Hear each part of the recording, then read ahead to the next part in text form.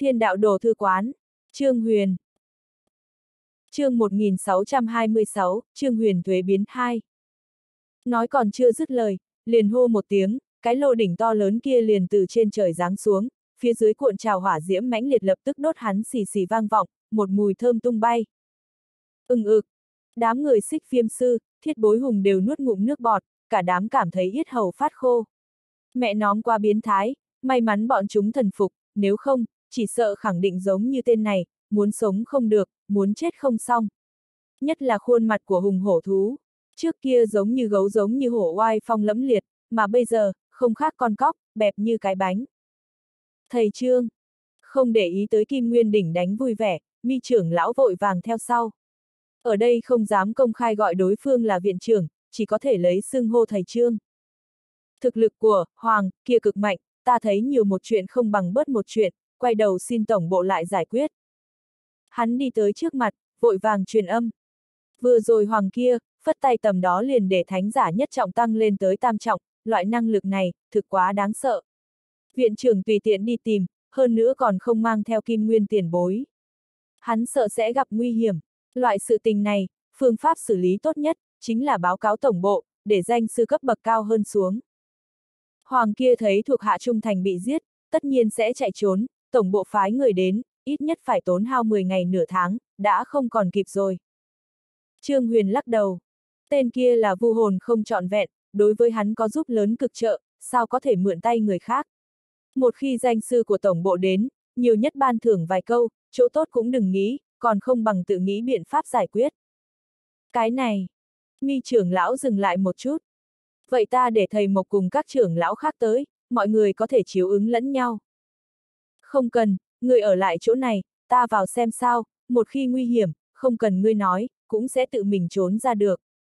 Trương Huyền vung tay. Thực lực của Hoàng kia ít nhất cũng phải đến thánh giả tứ ngũ trọng, sở dĩ hắn dám đi tìm, một là có ngoan nhân, mấu chốt nhất là trong đầu còn có một bản thiên đạo chi thư. Cái này là trước kia thời điểm thu tưởng thanh cầm viện trưởng làm học sinh hình thành, đến bây giờ còn không có cam lòng sử dụng, coi như tên kia mạnh mẽ đến đâu, còn có thể mạnh qua thiên đạo sao. Audio điện tử võ tấn bền. Một quyển sách chấn xuống, ngoan nhân cũng phải quỳ, chớ nói chi là một vu hồn không trọn vẹn. Đương nhiên, chuyện này ai cũng không thể nói, coi như mi trưởng lão chân tâm thật ý với hắn, cũng không thể tiết lộ. Viện trưởng, thấy hắn không nghe khuyên ngăn, khăng khăng muốn vào, mi trưởng lão vội vàng chặn ở phía trước. Được rồi, bây giờ ngươi ra ngoài, để đám người xích viêm sư gọi tất cả linh thú chiến đấu trở về, tập hợp ở vân vụ lính. Sau đó nói cho triệu bính tuất trưởng lão, đã hoàn thành đàm phán, để học sinh tham dự chiến đấu quay về học viện nghỉ ngơi. Trương Huyền khoát tay áo. Liên tục chiến đấu thời gian dài như vậy, khẳng định cũng mệt mỏi. Chuyện này, vâng. Thấy viện trưởng ra lệnh, mi trưởng lão không dám cự tuyệt, chỉ có thể nhẹ gật đầu. Đây là 200 viên linh thạch thượng phẩm, người điều tra một chút lần này đến cùng chết bao nhiêu học viên, thống kê thành sách, dùng những cái này đi trợ cấp. Trương Huyền than thở một tiếng, lấy ra một đống linh thạch thượng phẩm. Không nhiều không ít, vừa vặn 200, mặc dù hắn yêu tài như mạng, nhưng có một số việc phải làm. Vân vụ lĩnh thú triều, là bởi vì hắn trộm địa mạch linh dịch đưa tới, chết nhiều học viên như vậy, hắn phải chịu trách nhiệm. Linh thạch không thể vãn hồi tính mạng của đối phương, nhưng có thể để cho người nhà trải qua càng tốt hơn, cũng coi là một loại chuộc lỗi. Chuyện này, viện trưởng, trợ cấp học viên, tự có học viện bỏ ra, sao có thể để ngươi tự móc tiền túi. Thấy hắn lấy ra nhiều linh thạch thượng phẩm như vậy, mi trưởng lão giật nảy mình, vội vàng phất tay. Mặc dù đối phương là viện trưởng, nhìn thấy học viên chết, muốn trợ giúp, nhưng cũng không cần bản thân xuất tiền, học viện thậm chí danh sư đường, nắm giữ chính sách đối ứng. Những danh sư này, vì nhân tộc mà chết, vì đại nghĩa mà chết, tự nhiên không thể để cho bọn hắn không có tiếng tăm gì biến mất. Cầm đi. Trương Huyền nhíu mày, khoát tay áo. Mặc kệ học viện làm thế nào, đây là của ta. Vâng. Thấy ánh mắt của hắn trong suốt, là chân tâm thật ý muốn đưa những linh thạch này cho học viên vì chiến đấu mà mất mạng, mi trưởng lão đành phải nhận lấy. Đối với vị tân viện trưởng trước mắt này, lần nữa bội phục nhiều hơn mấy phần. Cũng chỉ có người chân chính đại công vô tư, xem tiền tài không có gì như vậy, mới có tư cách làm viện trưởng. Về sau ta cũng phải học tập viện trưởng, có đức độ. Trong lòng hơi động, âm thầm làm quyết định. Được rồi, nhanh làm đi, nơi này có ta là được, không cần lo lắng. Giao phó xong, Trương Huyền khoát tay áo, không nói thêm lời, dọc theo lộ tuyến minh lý chi nhãn nhìn ra, nhanh chân đi vào hang núi. chương 1627, một ngón tay một. Rất nhanh đi tới chỗ trước đó tràn đầy xương trắng, mặc dù trên mặt đất tản mát rất nhiều khôi giáp, nhưng mà nhìn kỹ lại, trên những xương cốt này đều có chút hoa văn tinh tế, hẳn là ở phong sư điện nhận được tiên hiền công nhận lưu lại. Nói cách khác đây đều là danh sư. Mỗi một danh sư, đều là tài phú của nhân loại, danh sư đường, tốn hao vô số tài nguyên bồi dưỡng thành, ở đây bị giết nhiều như vậy, huyết nhục tan rã, suy nghĩ một chút cũng cảm giác đáng sợ. Chỉ từ điểm đó, cũng có thể thấy được tội lỗi của hùng hổ thú, cho dù chết trên 100 lần cũng không đủ. Vì nhân tộc mà hy sinh, vì đạo nghĩa mà không sợ, các ngươi là anh hùng của nhân loại, không thể để cho thi cốt một mực phơi bày ở đây. Thân sắc của Trương Huyền ảm đạm, bàn tay nhẹ nhàng nhấn một cái, lập tức xuất hiện một cái hố cực lớn, chân khí tuôn ra, chậm rãi để hài cốt tụ trên mặt đất vào trong đó. Hài cốt đã vỡ vụn, không biết là ai, không bằng an táng chung một chỗ, sinh thời cùng một chỗ chiến đấu, sau khi chết chôn cùng một chỗ, cũng không có gì tiếc nuối. An táng xong những hài cốt này, kích hoạt minh lý chi nhãn, Trương Huyền tiếp tục nhìn lại. Dấu vết của Hoàng lưu lại, biến mất ở dưới vị trí hài cốt lúc trước. Chẳng lẽ ở dưới? Dưới đống hài cốt là một vùng bình địa, cũng không có bất kỳ cái gì, đưa tay sờ một cái, cũng không có cơ quan. Không có cái gì, vậy đi nơi nào? Minh Lý Chi nhãn nhìn thấy dấu vết, chính là biến mất ở nơi này, tuyệt sẽ không sai. Chẳng lẽ? Đột nhiên, một ý nghĩ từ trong đầu xông ra, cổ tay Trương Huyền khẽ đảo, một linh thú rơi xuống đất. Thiên nghĩ phong mẫu, cha nhìn một chút, phía dưới này có không gian trồng chất hay không? Không gian trồng chất liên quan không gian pháp tắc, lấy thực lực của hắn bây giờ còn không cách nào dò xét. Thiên nghĩ phong mẫu trời sinh mẫn cảm với không gian, có thể nhẹ nhõm phân biệt. Phong mẫu nhẹ gật đầu, cái mũi kề trên mặt đất hít hà, dọc theo chung quanh dạo qua một vòng, sau đó đứng dậy. Chủ nhân, nơi này thật có một không gian trồng chất, có điều không phải rất lớn, có nên đi vào nhìn xem hay không? Quả nhiên, ánh mắt Trương Huyền sáng lên. Vốn hắn chỉ là suy đoán, đã không có ở đây, lại không phát hiện loại hình kiến trúc như địa cung, vậy liền có thể là không gian trồng chất, không nghĩ tới lại thật. Đương nhiên phải vào. Trương Huyền không chút do dự. Mục đích tới nơi này, chính là muốn tìm kiếm, hoàng, trong miệng hổ hùng thú, phát hiện không gian trồng chất sao có thể không vào. Nếu như đối phương ở bên trong, lấy thủ đoạn cùng năng lực của nó, khẳng định cực kỳ nguy hiểm, suy nghĩ một cái, Trương Huyền ngẩng đầu. Ngươi đừng vào, nói cho ta biết phương pháp đi vào là được. Trong trồng chất không gian này, vô cùng có khả năng tồn tại một vị thánh giả tứ, ngũ trọng, thiên nghĩ phong mẫu là hóa phàm cửu trọng, tùy tiện đi vào, vô cùng có khả năng gặp phải nguy hiểm. Loại không gian này, đều có phương pháp tiến vào, không nắm giữ năng lực không gian, không phát hiện được không nói, coi như biết, cũng không thể nào đi vào. Thật giống như lúc trước thầy khổng lưu lại không gian ở phong thánh đài, không tìm ra sai lầm của tâm đắc, là không thể nào mở ra. Cái trước mắt khẳng định cũng giống vậy, nhưng thiên nghĩ phong mẫu đã có thể phát hiện, tất nhiên có phương pháp tiến vào bên trong. Tốt, ta giúp chủ nhân mở ra cửa vào, trực tiếp đi vào là được. Không biết trong không gian này tồn tại cái gì, nhưng thấy chủ nhân không cho nó vào, thiên nghĩ phong mẫu cũng không bắt buộc, gật đầu nói. Phong mẫu lại ở trên mặt đất ngửi một lát, hai tay vồ mạnh. Xoẹt, tựa như đồ vật gì bị xé nứt, một lỗ thủng cao cỡ một người xuất hiện. Trương Huyền hít sâu một hơi, cổ tay khẽ đảo, một quyển sách xuất hiện ở trước ngực, để ngoan nhân bảo vệ bản thân, lúc này thân thể mới nhoáng một cái, đi vào. Đi vào lỗ thủng, lập tức thấy rõ tình huống bên trong, quả thực là một không lớn không gian, đường kính chỉ có 7, 8 mét, so với thầy khổng lưu lại nhỏ không biết gấp bao nhiêu lần. Bên trong cũng không nhìn thấy thanh giác long thú trước đó gặp, chỉ có một tế đàn không lớn, cao cỡ một người, đường kính khoảng nửa mét, không giống tế đàn bình thường bày đầy đồ vật, phía trên không có vật gì. Dạo qua một vòng, không hề phát hiện thứ gì, Trương Huyền nhíu mày. Minh Lý Chi nhãn quan sát tuyệt đối sẽ không phạm sai lầm, hoàng kia tuyệt đối đã đi vào nơi này, nhưng vì sao cái gì cũng không có. Xem như là vu hồn, cũng không cách nào trốn tránh Minh Lý Chi nhãn, huống chi bản thân hắn cũng là một vu hồn sư, thật muốn có thứ này, tuyệt đối không chỗ che thân. Đang định quan sát kỹ một vòng, đột nhiên, một thanh âm sắc nhọn đâm vào màng nhĩ, tựa như có đồ vật gì phá không đánh tới. Còn không kịp phản ứng, liền cảm thấy một cỗ lực lượng khổng lồ đột nhiên xung kích về phía sau lưng. Ông! Bên ngoài thân có một mảng ánh sáng xuất hiện, là kích không phù lúc trước lấy được từ trong tay dư thừa. Kích không phù này có thể ngăn cản một kích toàn lực của thánh giả nhất trọng, vì an toàn, hắn vẫn luôn cất giữ trên người, chưa hề để vào không gian giới chỉ, giờ phút này gặp nguy hiểm, liền kích hoạt. Răng rác, kích không phù có thể chống đỡ một kích toàn lực của thánh giả nhất trọng, cùng thanh âm sắc nhọn sau lưng va chạm một cái, ngay cả nửa cái hô hấp cũng không chống đỡ, lập tức vỡ vụn ra, lực lượng cuồng bạo đánh vào trên lưng của hắn, cả người giống như bị xe lửa đụng, kìm lòng không được bay ra ngoài. Bành!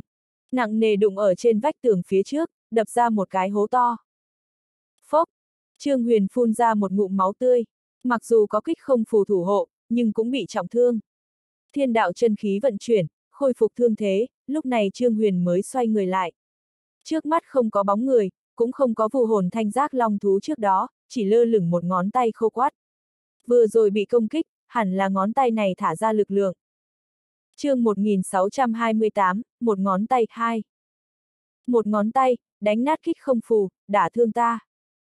Con người Trương Huyền co rụt lại, cảm thụ không ra trong ngón tay có lực lượng hay không, nhưng có thể tùy tiện kích thương mình, thật rất kinh khủng.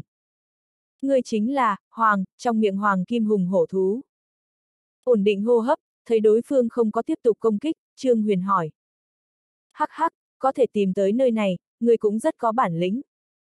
Trong ngón tay có một đạo ý niệm truyền tới, nói là thượng cổ thú ngữ. Nghe thanh âm, chính là vu hồn thanh giác long thú trước đó. Xem ra không sai rồi, không nghĩ tới đường đường vu hồn thanh giác long thú, thế mà giấu ở trên một ngón tay. Trương Huyền nhíu mày.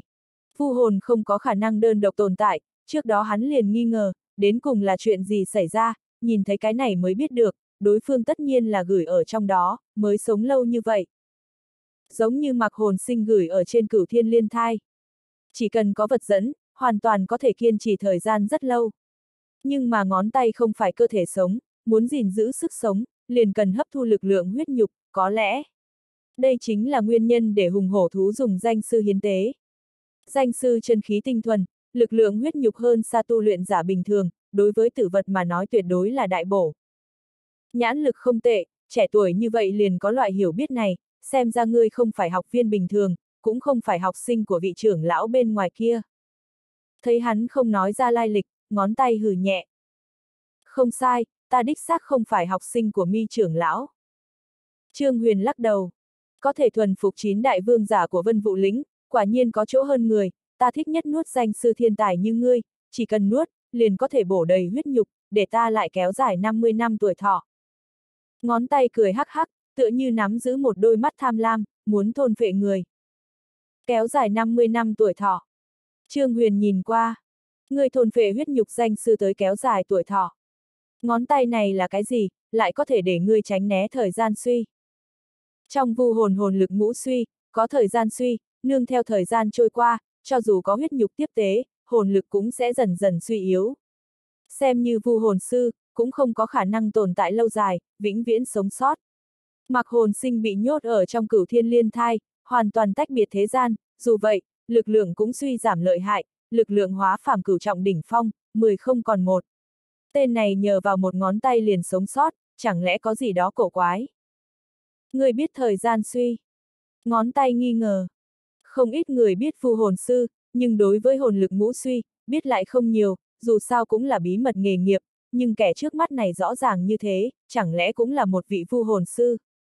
Đương nhiên biết, không chỉ biết cái này, còn biết, người không nhận được vu hồn sư truyền thừa, mặc dù lấy hình thái vu hồn tồn tại, trên thực tế là bám vào cộng sinh, mà không phải đoạt xá. Trương Huyền tiếp tục nói. Đối phương không công kích, thư viện không cách nào kiểm tra, mới vừa rồi đối với công kích hắn, sử dụng lực lượng, trong đầu đã hình thành thư tịch, biến thành kiến thức của mình. Vốn cho rằng tên này nắm giữ vu hồn sư truyền thừa, mới sống lâu như vậy, hiện tại xem ra, căn bản không có chuyện như vậy. Chỉ là dùng phương pháp đặc thù, cột hồn phách của mình vào trên ngón tay kia, sau đó dựa vào thôn vệ huyết khí của danh sư, duy trì sinh mệnh, trên thực tế không có bất cứ quan hệ nào với vu hồn truyền thừa. Có thể để cho hồn phách sống lâu như thế, ngón tay này tất nhiên không đơn giản. Chỉ tiếc, hồn phách của thanh giác long thú cùng ngón tay này có quan hệ cộng sinh, cũng không phải đoạt xá, vừa rồi đánh lén là hồn phách, thư viện không biểu hiện ra lai lịch của ngón tay. Nếu không cũng sẽ không cần dây dưa với đối phương, trực tiếp một sách đập chết rồi. Có thể nói ra lai lịch của ta, tuổi không lớn lắm, kiến thức thật không ít, nhưng càng như vậy, càng không giữ được ngươi.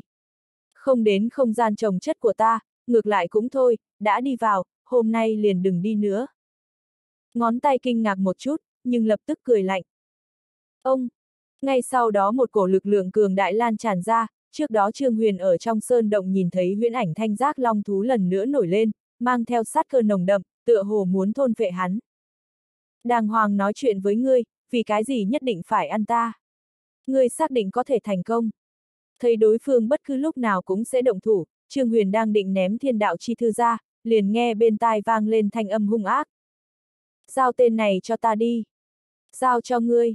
Bản thân không có ra lệnh, ngoan nhân từ trước tới nay không chủ động làm việc, làm sao đột nhiên muốn xuất thủ. Còn không có nghi ngờ bao lâu, liền nghe thanh âm của tên này tiếp tục vang lên. Đúng, kia là xương ngón tay của ta. chương 1629, ta cũng là ngoan nhân một. Của ngươi. Trương Huyền sững sờ.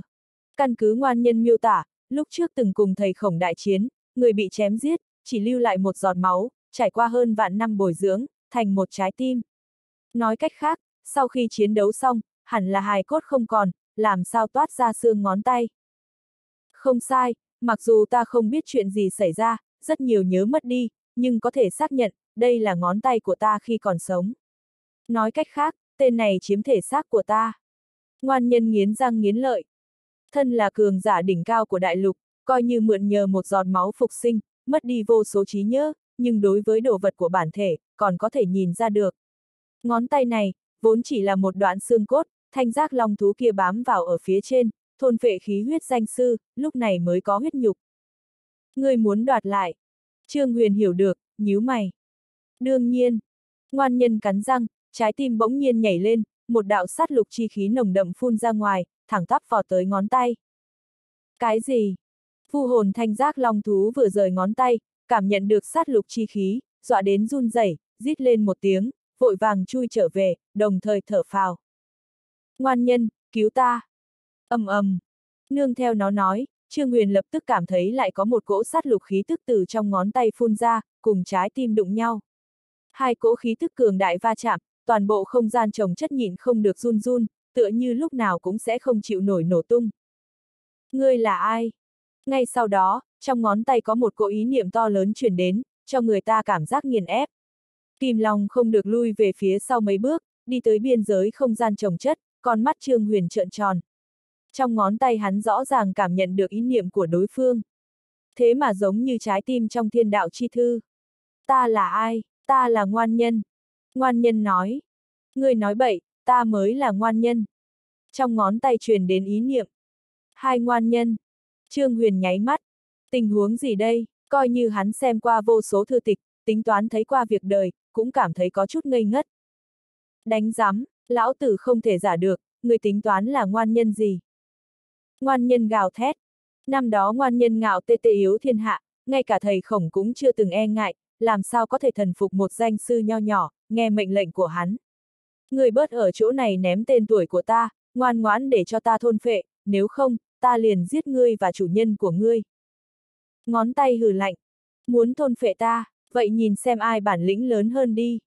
Ngoan nhân rít lên một tiếng, trái tim bỗng nhiên nhảy mạnh, một cổ lực lượng cường đại lập tức nâng thiên đạo chi thư lên, thẳng tắp vào tới ngón tay.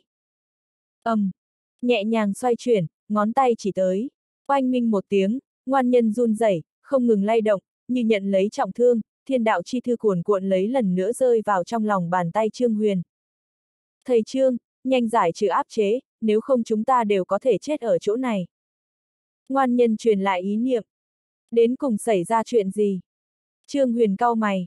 Hẳn là khi còn sống ta quá mạnh, tùy tiện một giọt máu, một đốt xương ngón tay, cũng có thể huyễn hóa thành một sinh linh đơn độc, trước khi bản tôn chết, những ý niệm này có thể thống nhất quản lý, thậm chí hội tụ thành một, nhưng sau khi bản tôn chết, đàn sinh ý thức, đều cảm thấy mình là ngoan nhân. Muốn lần nữa khôi phục, nhất định phải thôn vệ đối phương, nếu không, chỉ có thể bị đối phương thôn vệ, ý niệm biến mất. Ngoan nhân vội vàng truyền tới suy đoán của hắn. Còn có chuyện như vậy. Trương Huyền nháy mắt, nhỏ máu tái sinh, cái này cũng quá cường đại đi. Ân, tên này thôn phệ không biết bao nhiêu danh sư, hấp thu lực lượng trong đó, mạnh mẽ hơn ta rất nhiều, không giải trừ áp chế, căn bản không chống chọi được. Giải thích xong, ngoan nhân tiếp tục nói. Giải trừ áp chế. Trương Huyền cao mày. Thiên đạo chi thư có giam cầm đối phương hay không, quả thực chỉ là nhất niệm của hắn, nhưng thật muốn buông ra, tên này liền có khả năng không còn nghe phân phó, bỏ trốn mất dạng. Bất kể nói thế nào, cũng là người đối kháng thầy khổng, bị thiên đạo chi thư áp chế, sẽ ngoan ngoãn nghe lời, một khi thoát ly, làm sao có thể lại nghe mệnh lệnh. Còn tưởng rằng bao nhiêu lợi hại, dám cùng ta tranh giành, chết đi cho ta. chương 1630, ta cũng là ngoan nhân hai. Hai người trò chuyện chỉ ở một cái chớp mắt, ngón tay ở trên không trung một chiêu đánh lui ngoan nhân, lòng tin tăng nhiều, cười lạnh. Sĩ linh tộc lấy thôn phệ nhân loại tiến bộ, thôn phệ danh sư hiệu quả càng tốt, mặc dù ngoan nhân mượn nhờ lực lượng địa cung biến thành trái tim, nhưng lại chưa từng tiếp xúc nhân loại, lực lượng kém xa ngón tay thường xuyên thôn phệ danh sư. Huống chi, ngón tay chính là chỗ linh hoạt nhất trong thân thể, trái tim không thể sánh bằng. ầm ầm, lực lượng ầm vang, ngón tay điểm tới tâm tạng, sát lục chi khí nồng đậm, như một thanh kiếm sắc, bất cứ lúc nào cũng sẽ đâm thủng người. Nhanh giúp ta giải trừ. Cảm nhận được lực lượng của đối phương, ngoan nhân tràn đầy lo lắng, một đạo ý niệm nghênh đón tiếp lấy, đồng thời vội vàng hô. Không cần giải trừ, trực tiếp niêm phong tên này lại là được. Trương Huyền lắc đầu. Giải trừ khẳng định là không thể nào, một khi buông ra, chẳng khác nào trời cao mặc chim bay, biển rộng mặc cá bơi.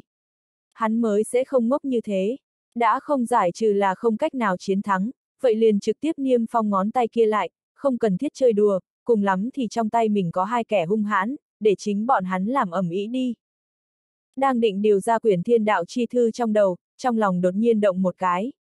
Bản thiên đạo chi thư này đã có thể áp chế ngoan nhân, vậy có thể tiếp tục trấn áp ngón tay trên không trung kia không? Có thể làm được mà nói, thì không cần lãng phí nữa. Thứ này quá chân quý, càng là bảo bối bảo mệnh, ít dùng một cái là một cái, có thể bớt thì bớt. Đi! Nghĩ đến điểm này, lại không trần chờ, tinh thần khẽ động, thiên đạo chi thư trấn áp ngoan nhân lập tức bay ra, thẳng tắp ngăn cản ngón tay. Phần phật, ngón tay đang muốn chém giết trái tim, liền cảm thấy một cỗ lực lượng lớn lao bao phủ hắn, vô luận làm sao cũng không thoát được. Đây là cái gì? Nó la hét một tiếng, muốn chạy trốn, lại phát hiện phảng phất như bị tảng đá đè thân thể, không thể động đậy. Thư tịch trước mắt, ẩn chứa thiên địa đại đạo, tựa như lồng giam, bao phủ không gian bốn phía. Ha ha, ngươi không phải cười nhạo ta sao? Nhìn ngươi có thể chạy thoát hay không? Thấy tên này cũng giống như mình, bị thư tịch nghiền ép, ngoan nhân cười to một tiếng. Tên này mới vừa nói hắn là giả, nếu không ngoan nhân dám đấu với thầy khổng, làm sao sẽ chỉ nhận thua một học viên hóa phàm cửu trọng, hiện tại đoán chừng cũng rõ ràng, không chỉ hắn, coi như là ngoan nhân chân chính phục sinh, cũng phải quỳ. Đại sát khí này của thầy Trương thật đáng sợ, quá tà môn. Dưới thiên đạo, không chỗ che thân, mặc ngươi thực lực ngập trời, mặc ngươi quyền thế vô song, mặc ngươi anh hùng vô địch.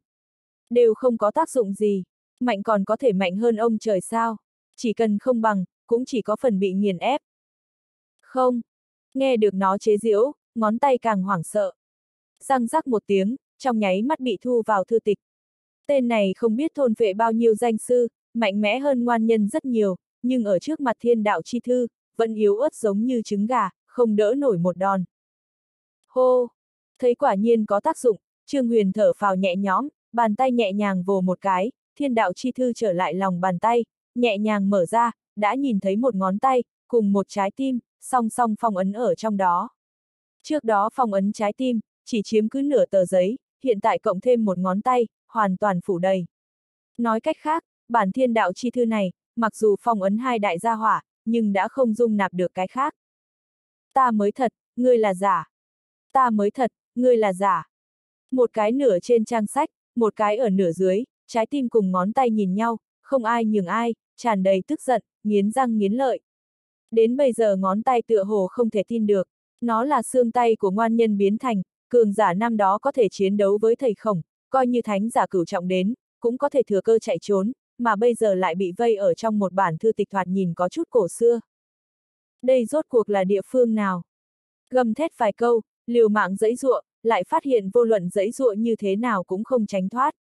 Quyển sách này như nắm giữ thiên đạo ý niệm, cao cao tại thượng, xem thường vạn vật, ai dám phản kháng cũng có thể tùy ý gạt bỏ. Đừng nói hắn, chỉ cần sinh hoạt ở dưới thiên đạo, mặc kệ cường giả lợi hại như thế nào, cũng phải nghe theo mệnh lệnh. Đừng vùng vẫy vô dụng, ngoan ngoãn để cho ta thôn phệ, xong hết mọi chuyện. Trái tim hử lạnh. Để ngươi thôn phệ, ngươi nằm mơ, ngươi nhất định sẽ bị ta thôn phệ. Còn có thầy trương kia, cũng phải chết. Các ngươi hết thảy đều phải chết, đắc tội ngoan nhân ta, ta muốn các ngươi chôn cùng. Ngón tay oa oa kêu loạn. Tiếng la còn không có kết thúc, liền thấy một ngón tay nhẹ nhàng rơi xuống, bắn tới nó, đầu ngón tay ẩn chứa một cỗ chân khí tinh thuần nồng đậm. Bành! Còn không kịp phản ứng, liền lăn lộn mấy vòng, đi loạn ở trong trang sách, bị chân khí đánh trúng, có chút không kịp thở. Đạo chân khí này, giống như khắc tinh của nó, có thể nhẹ nhõm áp chế lực lượng toàn thân nó. Im miệng! Trương Huyền nhíu mày. Coi như người còn mang theo ý thức khi còn sống, cảm thấy mình là ngoan nhân, đến nơi này chỉ là một hình vẽ đơn giản, cần ngậm miệng lại. Ngươi dám đánh ta, ngươi có biết ta là ai không? Ngón tay giống như trái tim trước đó mới vừa đi vào, không chút chịu phục, cực kỳ phách lối. Còn cho mình là vương giả dị linh tộc đỉnh phong năm đó tung hoành thiên địa, ngay cả thầy khổng cũng phải kiêng rẻ không thôi. Bành!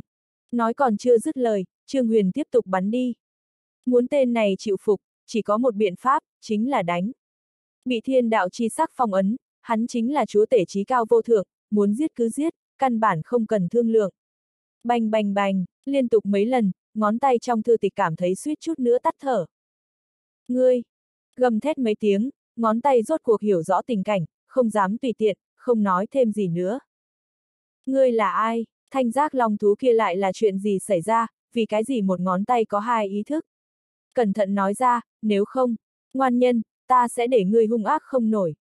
Lại dạy dỗ một hồi, thấy tính khí của tên này đã bị san bằng, Trương Huyền mới thản nhiên nhìn tới. Cái gì ngoan nhân hung ác, ở trước mặt ta chính là gà, có tin ta nháy mắt liền giết ngươi hay không? chương 1631, Tài phú của hùng hổ thú 1. Ta, biết bị vây ở trong thư tịch, lại hết cách rồi, ngón tay không còn phách lối như trước đó, đành phải mở miệng. Ta là một đốt xương tay của ngoan nhân, ngủ say vạn năm mới nắm giữ ý thức, thanh giác long thú là hoàng giả của vân vụ lĩnh, ta vì mau chóng thức tỉnh, bắt linh hồn hắn vào, để hắn dựa theo yêu cầu của ta làm việc. Hắn nói sự tình một lần. Giống như trước đó suy đoán, năm đó ngoan nhân cùng thầy khổng chiến đấu, đã trải qua cái gì, không người có thể biết, nhưng có thể khẳng định là, đoạn xương ngón tay kia lưu giữ được. Khi còn sống ngoan nhân sớm đã đạt đến cảnh giới nhỏ máu trùng sinh, đoạn xương ngón tay này, mặc dù bị thương rất lớn, ngủ say vạn năm, cuối cùng vẫn ra đời ý thức của mình. Sau đó, trong lúc vô tình bị hoàng giả của vân vũ lĩnh phát hiện, vì mau chóng tăng thực lực lên, nó liền dùng phương pháp đặc thù bắt hồn phách tên này, để nó kéo dài hơi tàn sống sót. Sau đó lấy tàn hồn này khống chế tất cả thánh thú ở vân vũ lĩnh, lấy hội tụ địa mạch linh dịch, tăng thực lực lên làm đại giá, bắt danh sư cho nó thôn phệ. Làm cường giả siêu cấp có thể so với thầy khổng, giúp hùng hổ thú tăng thực lực lên vẫn rất đơn giản, ai biết gặp Trương Huyền nắm giữ thiên đạo chi thư, lúc này mới bị bắt, đánh không còn ra hình dáng. Còn Ngô Dương Tử, hơn 2.000 năm trước, từng có vài dị linh tộc tới nơi này, tìm xin giúp đỡ. Lúc đó ngoan nhân vừa vặn thôn vệ xong mấy danh sư, lâm vào ngủ say, thanh giác long thú biết mục đích của đối phương, phái thánh thú ra tay, hỗ trợ bắt luyện khí đại tông sư kia. Mặc dù thanh giác long thú chỉ là một đạo tàn hồn, nhưng bị ngoan nhân nắm trong tay nhiều năm như vậy, cũng biết không ít bí mật, ngay sau đó nói cho dị linh tộc. Về sau, đám người kia mới ở địa cung khôi phục trái tim, để ngoan nhân có ý thức của mình. Có thể nói, trước đó trái tim tỉnh lại, là nhờ ngón tay này ban cho. Thầy Trương, để cho ta thôn phệ tên này, thực lực của ta khẳng định có thể khôi phục càng nhiều. Nên hỏi đã hỏi một lần, Trương Huyền còn có một số việc chưa nghĩ thông suốt, đang muốn tự cân nhắc tỉ mỉ, liền nghe bên tai vang lên truyền âm, nói chuyện là trái tim. Thôn phệ. Không sai, nếu ta đoán không lầm, mặc dù lúc trước ngoan nhân bị giết, nhưng khẳng định lưu lại không ít hậu chiêu, giống chúng ta loại nắm giữ ý thức đơn độc này cũng không ít, muốn khôi phục đỉnh phong lần nữa, chỉ bằng vào hấp thu linh khí, dù 10 vạn năm cũng làm không được. Biện pháp duy nhất chính là, tìm được những ý thức phân tán này, thôn phệ tất cả. Trái tim nói, chỉ cần thôn phệ đầy đủ, coi như không khôi phục được toàn bộ thực lực, nhưng sẽ không kém quá nhiều. Ân. Trương Huyền gật đầu. Nhìn thấy xương ngón tay cũng tự xưng ngoan nhân, hắn liền đoán ra. Trong linh thú có một loại phương pháp bồi dưỡng cường giả, không khác cách này bao nhiêu, bình thường sẽ nuôi dưỡng rất nhiều, để chúng tự giết lẫn nhau, cuối cùng còn dư lại chính là người mạnh nhất. Ngoan nhân biết mình hẳn phải chết, trước thời hạn lưu lại một tay, hẳn là lưu lại rất nhiều thứ như trái tim, ngón tay, mà muốn hoàn toàn phục sinh, cũng chỉ có thể tập hợp chúng lại với nhau, thôn vệ là được. Tốt, chỉ cần hiệu chung với ta, không chỉ này cái, ta còn sẽ giúp ngươi tìm được ngoan nhân khác, để ngươi trở nên càng ngày càng mạnh. Trương Huyền thản nhiên nói. Đối với hắn ai là ngoan nhân quá dâu ria, chỉ cần có thể hiệu chung với mình, giúp mình làm việc là tốt rồi. Trái tim ngoan nhân này, đã đi theo bên người rất lâu, cũng đã trải qua không ít chuyện, nếu như có thể hoàn toàn thuần phục, tự nhiên tốt nhất. Còn ngón tay kia, tàn sát nhiều danh sư như vậy, nuốt huyết nhục của bọn hắn, coi như có thể thần phục, cũng sẽ không dùng. Hiệu chung. Trái tim trầm lặng. Mặc dù bị vây ở trong thư tịch, nhưng ý thức của nó trước sau là ngoan nhân rong ruổi thiên địa, thậm chí cùng thầy khổng chiến đấu qua, để hắn hoàn toàn hiệu chung, vẫn còn có chút khó. Không sai. Cũng không nhiều lời, hai tay Trương Huyền chắp sau lưng, tùy ý nó lựa chọn. Nắm giữ thiên đạo thư viện, hắn đã có vốn liếng ngạo khiếu thiên địa, đối phương thần phục cũng chỉ là dệt hoa trên gấm mà thôi, không thần phục, cũng có thể xông ra một vùng trời mới. Được, ta đồng ý. Không có trầm lặng bao lâu, trái tim mở miệng đáp ứng. Không đáp ứng cũng không được a hát, nó tận mắt chứng kiến qua tất cả thủ đoạn cùng năng lực của thanh niên này, so với những danh sư cửu tinh trong truyền thuyết kia còn kinh diễm hơn. Có lẽ vị này, thật có thể dẫn nó đi càng xa, thậm chí vượt qua. Thầy khổng, đáp ứng, hoàn toàn khôi phục, thậm chí trở nên càng mạnh, không đáp ứng, một mực bị vây ở trong thư tịch, vĩnh viễn không vươn mình lên được, chỉ cần không ngốc, đều sẽ làm ra lựa chọn chính xác nhất. Hiến tế linh hồn đi. Thấy đối phương đáp ứng, Trương Huyền nói. Chỉ có hiến tế linh hồn, đối phương sống chết, mới ở trong ý niệm của mình, mới có thể hoàn toàn tin tưởng đối phương. Nếu không chỉ bằng vào vài câu hứa hẹn, một khi phản bội, xem như hắn cũng không chịu đựng nổi. Vâng, cũng không do dự, trái tim lập tức truyền tới một cỗ ý niệm, rơi vào mi tâm Trương Huyền, lóe lên chui vào thức hải. Cảm nhận được cỗ ý niệm này, Trương Huyền nhẹ gật đầu. Trước kia trấn áp trái tim này, để hắn nghe theo bản thân phân phó, mà bây giờ là hoàn toàn thần phục, có linh hồn hiến tế, chẳng khác nào hoàn toàn do hắn khống chế, giống như thuần phục thú sủng, vô điều kiện nghe theo mệnh lệnh của mình, không dám phản bác. Chủ nhân, linh hồn hiến tế tương đương nhận chủ, trái tim lại không còn cao ngạo trước kia, hạ thấp tư thái. Gọi thiếu chủ đi. Trương Huyền khoát tay áo. Vâng, thiếu chủ. chương 1632, tài phú của hùng hổ thú 2. Trái tim lên tiếng. Làm sao thôn phệ, cần ta giúp không? Trương Huyền nói. Bẩm báo thiếu chủ, thực lực của ta bây giờ còn không bằng hắn, nếu như ngươi có thể cho ta mượn dùng bản chép tay của thầy khổng một chút, liền có thể bảo đảm hoàn toàn thôn phệ hắn. Trái tim nói. Mượn dùng bản chép tay của thầy khổng. Trương Huyền cau mày. Nhận được bản chép tay của thầy khổng dễ dàng sao, lần trước ngụy trang Dương Huyền, đã bị nuốt lấy một phần ba, hiện tại còn đánh chủ ý nó nữa. Thiếu ra, dị linh tộc nuốt nhân loại tăng thực lực lên, ngón tay kia càng nuốt danh sư, bất kể ý niệm hay thực lực, đều mạnh hơn ta rất nhiều. Không mượn bản chép tay của thầy khổng, khẳng định không phải đối thủ, làm không cẩn thận còn sẽ bị hắn thôn phệ. Trái tim nói. Được rồi, bản bản chép tay của thầy khổng này chỉ còn lại 2 phần 3 chữ viết, người nói cho ta biết cần phải mượn bao nhiêu, mới có thể thôn vệ đối phương. Trương Huyền nói. Cái này, ta cũng không xác định. Trái tim trần chờ. Như vậy đi, ta trước đánh ngón tay này trọng thương, sau đó ngươi lại ra tay, hẳn là có thể tiết kiệm giúp ta. Suy nghĩ một chút, Trương Huyền nói. Ở bên ngoài, hắn khẳng định không phải đối thủ, nhưng bị vây ở trong thiên đạo chi thư, thiên đạo chân khí chính là vũ khí đáng sợ nhất. Làm xong quyết định, cũng không nhiều lời, Trương Huyền cầm thiên đạo chi thư trong tay, rót vào một đạo chân khí. A hát! Bị chân khí tập kích, ngón tay liên tục lăn lộn, không lâu sau liền không còn thanh âm. Thấy cảnh này, trái tim vội vàng sông lên, một cỗ ý niệm to lớn phun ra ngoài, đối đầu ở trong thiên đạo chi thư. Không biết qua bao lâu, ngón tay rốt cục ngừng lại, không còn kiêu căng khó thuần trước đó, an tĩnh nằm ở trong trang sách. Thiếu chủ. Lại qua một đoạn thời gian, trong ngón tay có một đạo ý niệm vang lên. Trái tim hoàn toàn thôn phệ, để, ngoan nhân, kia thành tiếp tế của bản thân. Thiếu chủ, vừa thôn phệ tên này, hai cô ý niệm xung đột lẫn nhau, ta có thể sẽ ngủ say một đoạn thời gian, tàn hồn của thanh giác long thú ở bên trong, ta đã thay người xóa đi ý thức, có thể nhẹ nhõm luyện hóa, dùng để tẩm bổ vu hồn. Thanh âm của ngoan nhân tiếp tục vang lên, sau đó một tia lực lượng hồn phách tinh thuần, theo ngón tay truyền ra. Cảm nhận được linh hồn tinh thuần, ánh mắt Trương Huyền sáng lên. Hoàng giả kia, mặc dù chỉ là một đạo tàn hồn, nhưng đã đạt đến thánh giả tứ, ngũ trọng, hồn phách cực mạnh, chỉ cần luyện hóa, hồn lực của mình tất nhiên sẽ tăng lên rất nhiều. Nhưng bây giờ không phải thời điểm luyện hóa, còn có rất nhiều sự tình cần xử lý. Nhìn thoáng qua bản chép tay của thầy khổng, thấy lại bị nuốt mất hơn 300 chữ, không sai biệt lắm một phần ba, Trương Huyền nhíu mày, thu vào không gian giới chỉ. Người khác nhận được bản chép tay của thầy khổng, sẽ coi là thánh bảo, trà đạp giống như hắn, đoán chừng trong thiên hạ chỉ có một. Rời đi không gian trồng chất, phân phó thiên nghĩ phong mẫu thôn phệ. Chém giết hoàng làm hại danh sư, về sau vân vụ lính sẽ không còn uy hiếp, cũng coi như có bản giao đối với mấy danh sư chết đi, có. Không gian trồng chất không lớn, lại thêm thực lực của thiên nghĩ phong mẫu tăng tiến rất nhiều, chỉ dùng không đến nửa canh giờ, liền thôn vệ sạch sẽ. Thu tổ ong vào, Trương Huyền đi ra ngoài, lần nữa trở lại chỗ chứa đựng linh dịch trước đó, chỉ thấy hoàng kim hùng hổ thú nằm trên mặt đất, đã bị đánh thành bánh thịt, chết không thể chết lại. Kim Nguyên đỉnh thấy hắn tới, vẻ mặt lập tức lấy lòng tiến lên đón. Chủ nhân, tên này đã bị đánh chết, đồ tốt cũng có không ít. Nó cười hắc hắc, một cái không gian giới chỉ từ trong kim nguyên đỉnh bay tới, rơi vào tay Trương Huyền.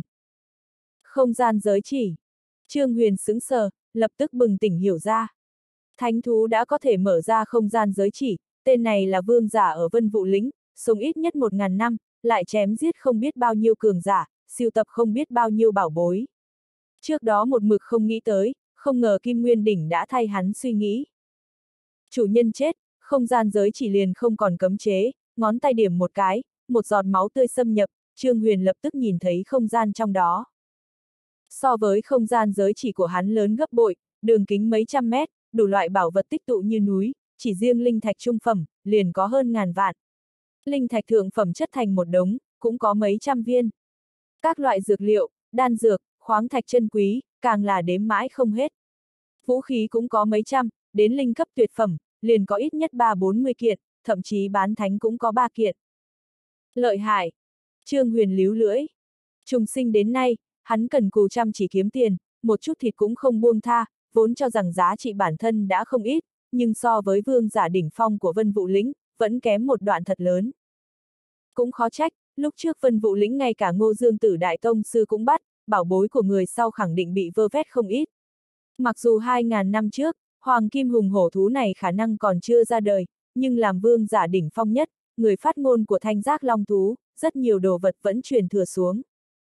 chương 1633, Nghiệp chướng AH 1. Những bảo vật này có thể nói giá trị xa xỉ, trọng yếu nhất chính là, còn có rất nhiều viên nội đan thánh thú. Mặc dù tuổi thọ thánh thú dài hơn nhân loại, nhưng cuối cùng sẽ chết, lại thêm chiến đấu tổn thương, nhiều năm tích lũy xuống, nội đan thánh thú trong không gian giới chỉ, đã đạt đến mức làm người nghe kinh hãi, chừng mấy trăm viên. Mỗi một viên đều có giá trị không nhỏ, thật muốn bán ra, tuyệt đối là cái giá trên trời. Nhìn tất cả bảo vật một lần, Trương Huyền sợ hãi thán phục. So sánh với tên này, lúc trước cái gọi là giàu có của hắn, thật giống như nhà quê, nghèo đến không có cách nào gặp người. Lấy được nhiều đồ tốt như vậy, công lao của ngươi không nhỏ. Cần ta ban thưởng gì không? Tràn đầy cao hứng, Trương Huyền nhìn về phía Kim Nguyên đỉnh cách đó không xa. Cái không gian giới chỉ này, khẳng định không có tùy thân mang theo, nếu không phải tên này thẩm vấn, có lẽ liền bỏ qua, Kim Nguyên đỉnh bình thường có chút tương tương tự luyến, nhưng thời khắc mấu chốt vẫn rất đáng tin. Hắc hắc, chỉ cần chủ nhân đừng quên giúp ta tăng thực lực lên là tốt rồi.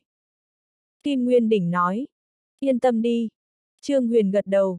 Tên này là vũ khí thánh cấp hạ phẩm, chỉ cần trình độ luyện khí của hắn lại tăng, hoàn toàn có thể giúp tăng cấp bậc.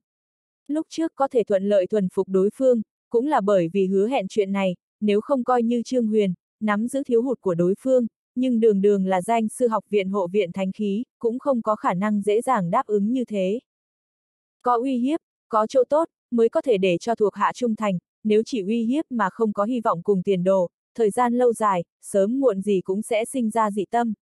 Cùng Kim Nguyên Đỉnh đi ra sơn động, lập tức nhìn thấy đám người xích phiêm sư, hổ đầu thú tiến lên đón. Thế nào? Trương Huyền nhìn qua. Bẩm báo chủ nhân, tất cả linh thú đang chiến đấu, đã tập hợp xong xuôi, đều ở dưới chân núi, chờ đợi chủ nhân xử lý. Xích phiêm sư vội nói. Trải qua chuyện lúc trước, bọn chúng đối với vị chủ nhân tuổi không lớn lắm này, tất cả đều khăng khăng một mực, không dám tiếp tục sinh ra hai lòng. Đi qua nhìn một chút. Trương Huyền nhẹ gật đầu, nhanh chân đi tới chân núi. Linh thú của vân vụ lĩnh, chỉnh tề xếp ở dưới chân núi, lít nha lít nhít hơn mấy vạn, Trương Huyền đi tới trước mặt, lập tức đưa tới bạo động, cả đám mở to hai mắt nhìn, không rõ ràng cho lắm. Bọn chúng đang chiến đấu với danh sư học viện, liền bị gọi đến nơi này, đến cùng xảy ra chuyện gì, vương giả cùng nhân loại lại đàm phán thế nào, một mực đều không biết. Linh thú muốn tăng thực lực lên, không chỉ hấp thu tinh hoa nhật nguyệt, linh khí, còn cần học tập nhân loại, tiến hành tu luyện. Đi tới trước mặt, Trương Huyền cũng không nói nhảm, âm thanh vang lên. Hắn đến chân núi, mi trưởng lão cũng đã tới lôi viễn phong.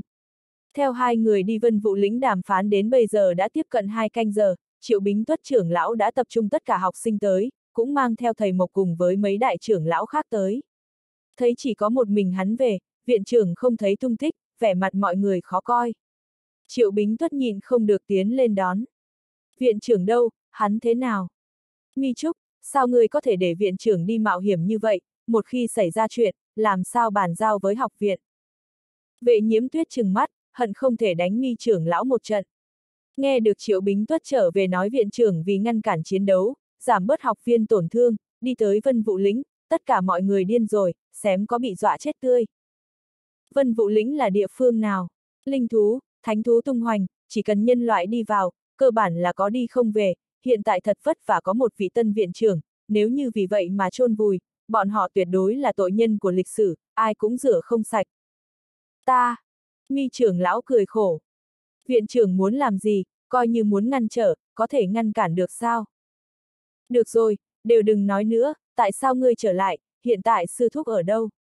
Tình huống vân vụ lĩnh thế nào? Cắt đứt mọi người chất vấn, thầy Mộc nhìn lại. Ta nghe nói 10 đại vương giả của vân vụ lĩnh, không có một cái nào là hạng người bình thường, cực kỳ cừu thị nhân loại, tùy tiện qua đàm phán, khẳng định gặp không ít phiền phức a.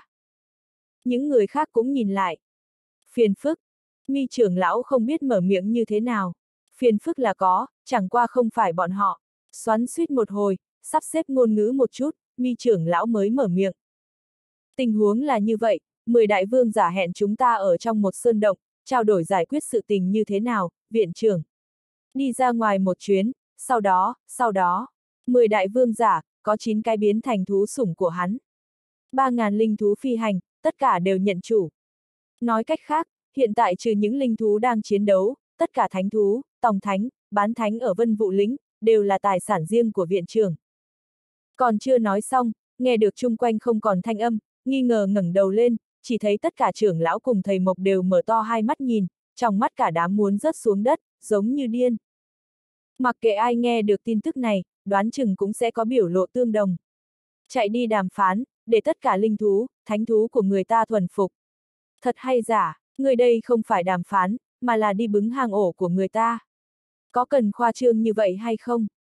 Sự thật chính là như thế. Biết mọi người không tin, vẻ mặt của mi trưởng lão bất đắc dĩ.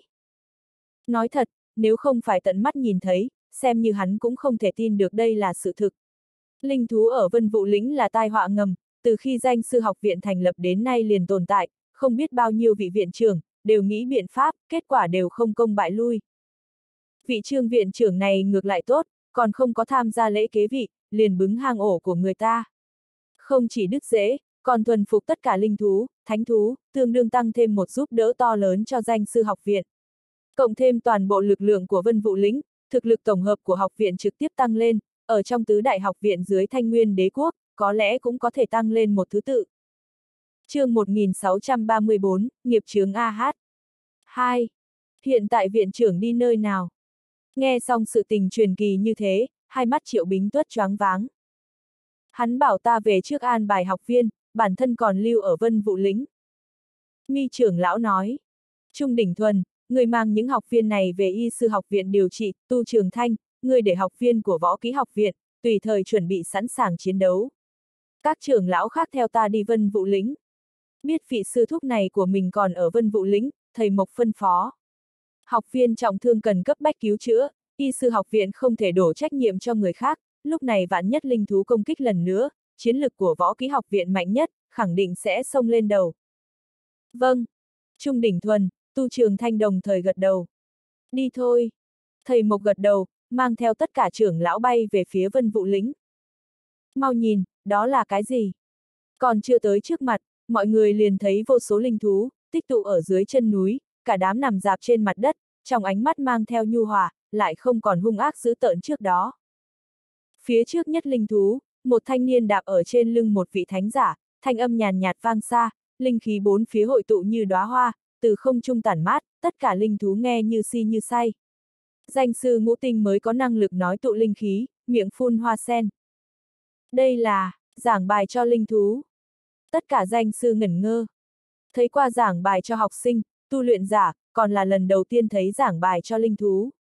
Mấu chốt nhất là, những linh thú này thế mà cả đám nghiêm túc nghe giảng, thậm chí còn có chút dùng mũi, móng vuốt làm bút viết trên mặt đất. Được rồi, chương trình học hôm nay liền tới đây, chư vị giải tán đi. Đang khiếp sợ, liền nghe thanh âm của Trương Huyền truyền tới. Giống, giống, nghe nói như thế, tất cả linh thú chẳng những không tản ra, ngược lại đều dương đầu lên, thanh âm sông thẳng vân tiêu, ngay sau đó từng con bò dậy, mi tâm hiện ra một giọt máu tươi, thẳng tắp bay tới Trương Huyền. Con mẹ nó, nhìn xem máu tươi đầy trời, muốn trôn vùi cả hắn, thân thể Trương Huyền nhoáng một cái, thiếu chút nữa ngất đi. Ta là tùy tiện giảng bài, lại không có ý để các ngươi nhận chủ. Lại nói, coi như nhận chủ, cũng không nên tranh cướp như vậy, tiếp cận 10 vạn linh thú, mỗi người một giọt máu. Đầy đủ làm cái bể bơi. Hắn phát điên, thầy Mộc, tất cả trưởng lão càng muốn điên. Viện trưởng không chỉ thu phục 10 đại vương giả, thuần phục tất cả linh thú ở vân vụ lĩnh. 10 vạn linh thú, ra lệnh một tiếng, coi như đế quốc nhất đẳng hồng viễn đế quốc, cũng trong nháy mắt rơi vào tay giặc. Một người để nhiều linh thú nhận chủ như vậy, giải quyết nhiều tai họa ngầm như vậy. Cái này, cái này, công lao lớn không có cách nào cân nhắc, ta phải bẩm báo thú đường. Mi trưởng lão run rẩy. Dưới một bài học, tất cả linh thú của vân vụ lĩnh trực tiếp nhận chủ, có thể nói tiền vô cổ nhân, hậu vô lai giả.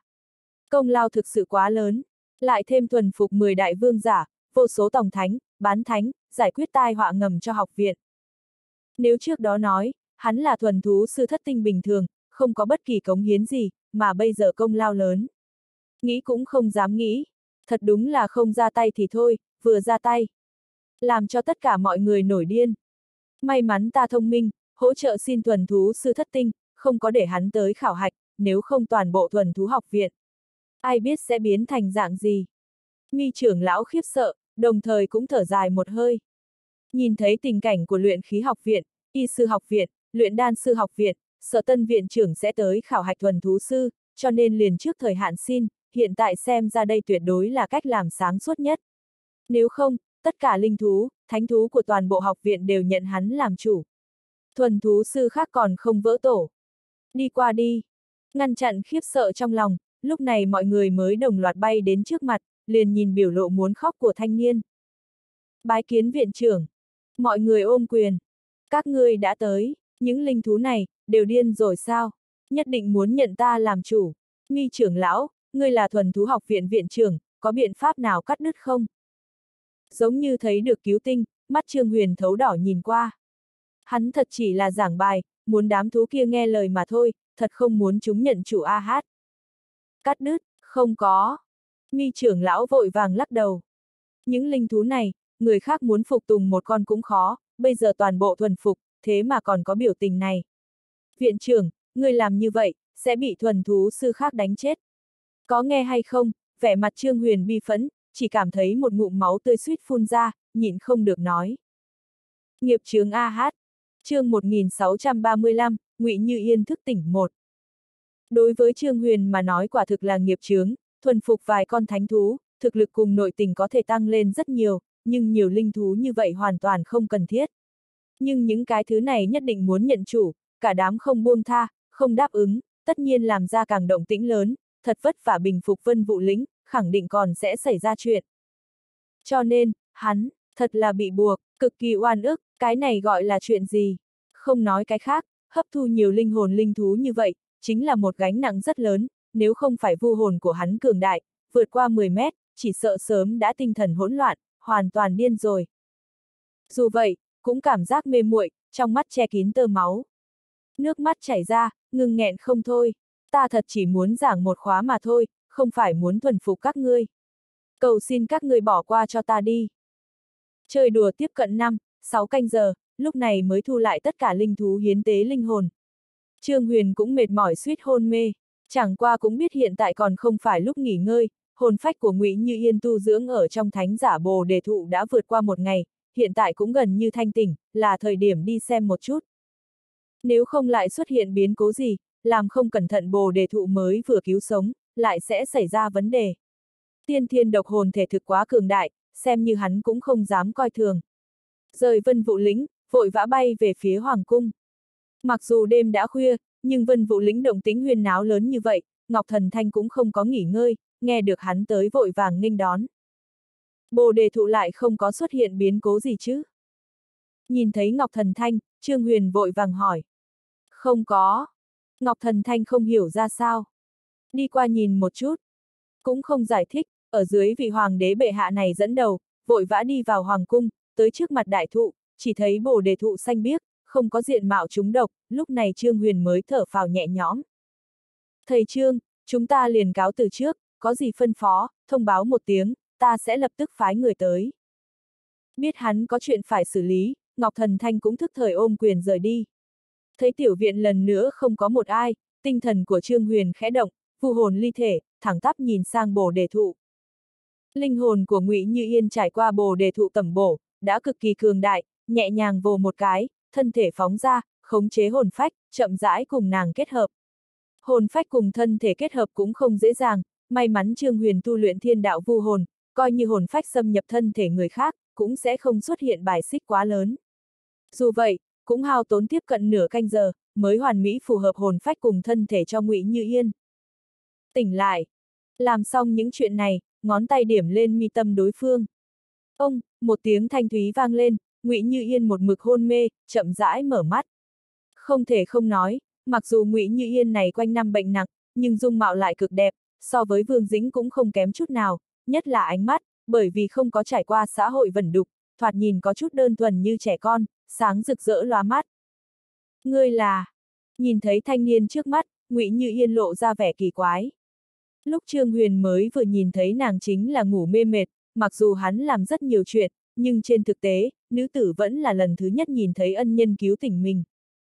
Tại hạ Trương Huyền, là một vị danh sư, đã hoàn toàn chữa khỏi chứng bệnh của ngươi. Trương Huyền gật đầu. Chữa khỏi bệnh của ta. Ngụy Như Yên có chút không tin.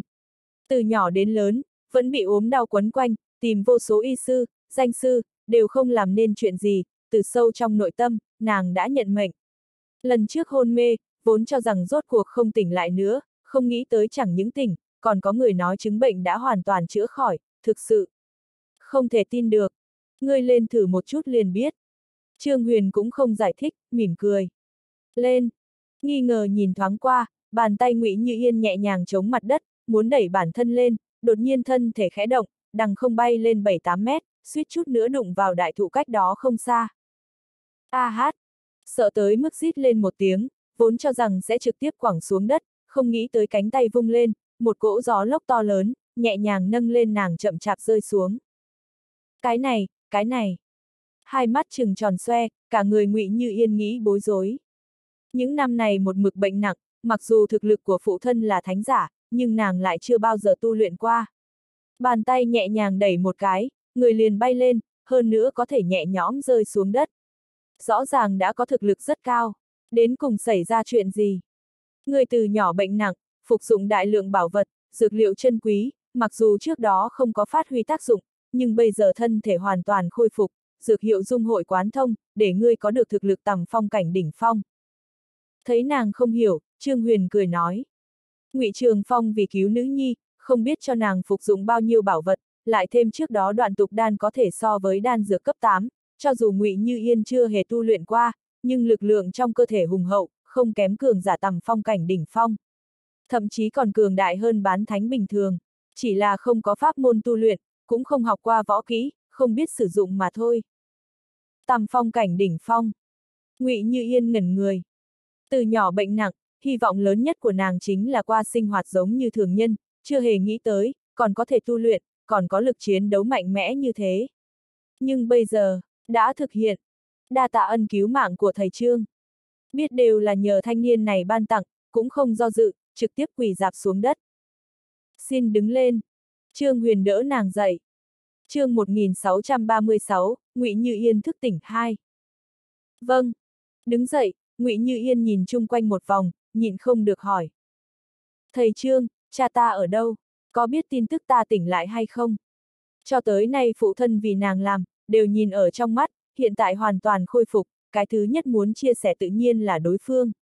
Một khi phụ thân biết mình tỉnh táo lại, còn có thể tu luyện, sợ rằng sẽ cao hứng không biết trời đâu đất đâu a. À. Khóe miệng lộ ra nụ cười thản nhiên, mặc sức tưởng tượng biểu lộ của phụ thân sau khi biết tin tức này, ánh mắt của Ngụy Như Yên cong như trăng lưỡi liềm, tràn đầy ngọt ngào. Nhiều năm như vậy cha con sống nương tựa lẫn nhau, đã sớm có tình cảm cực kỳ thâm hậu.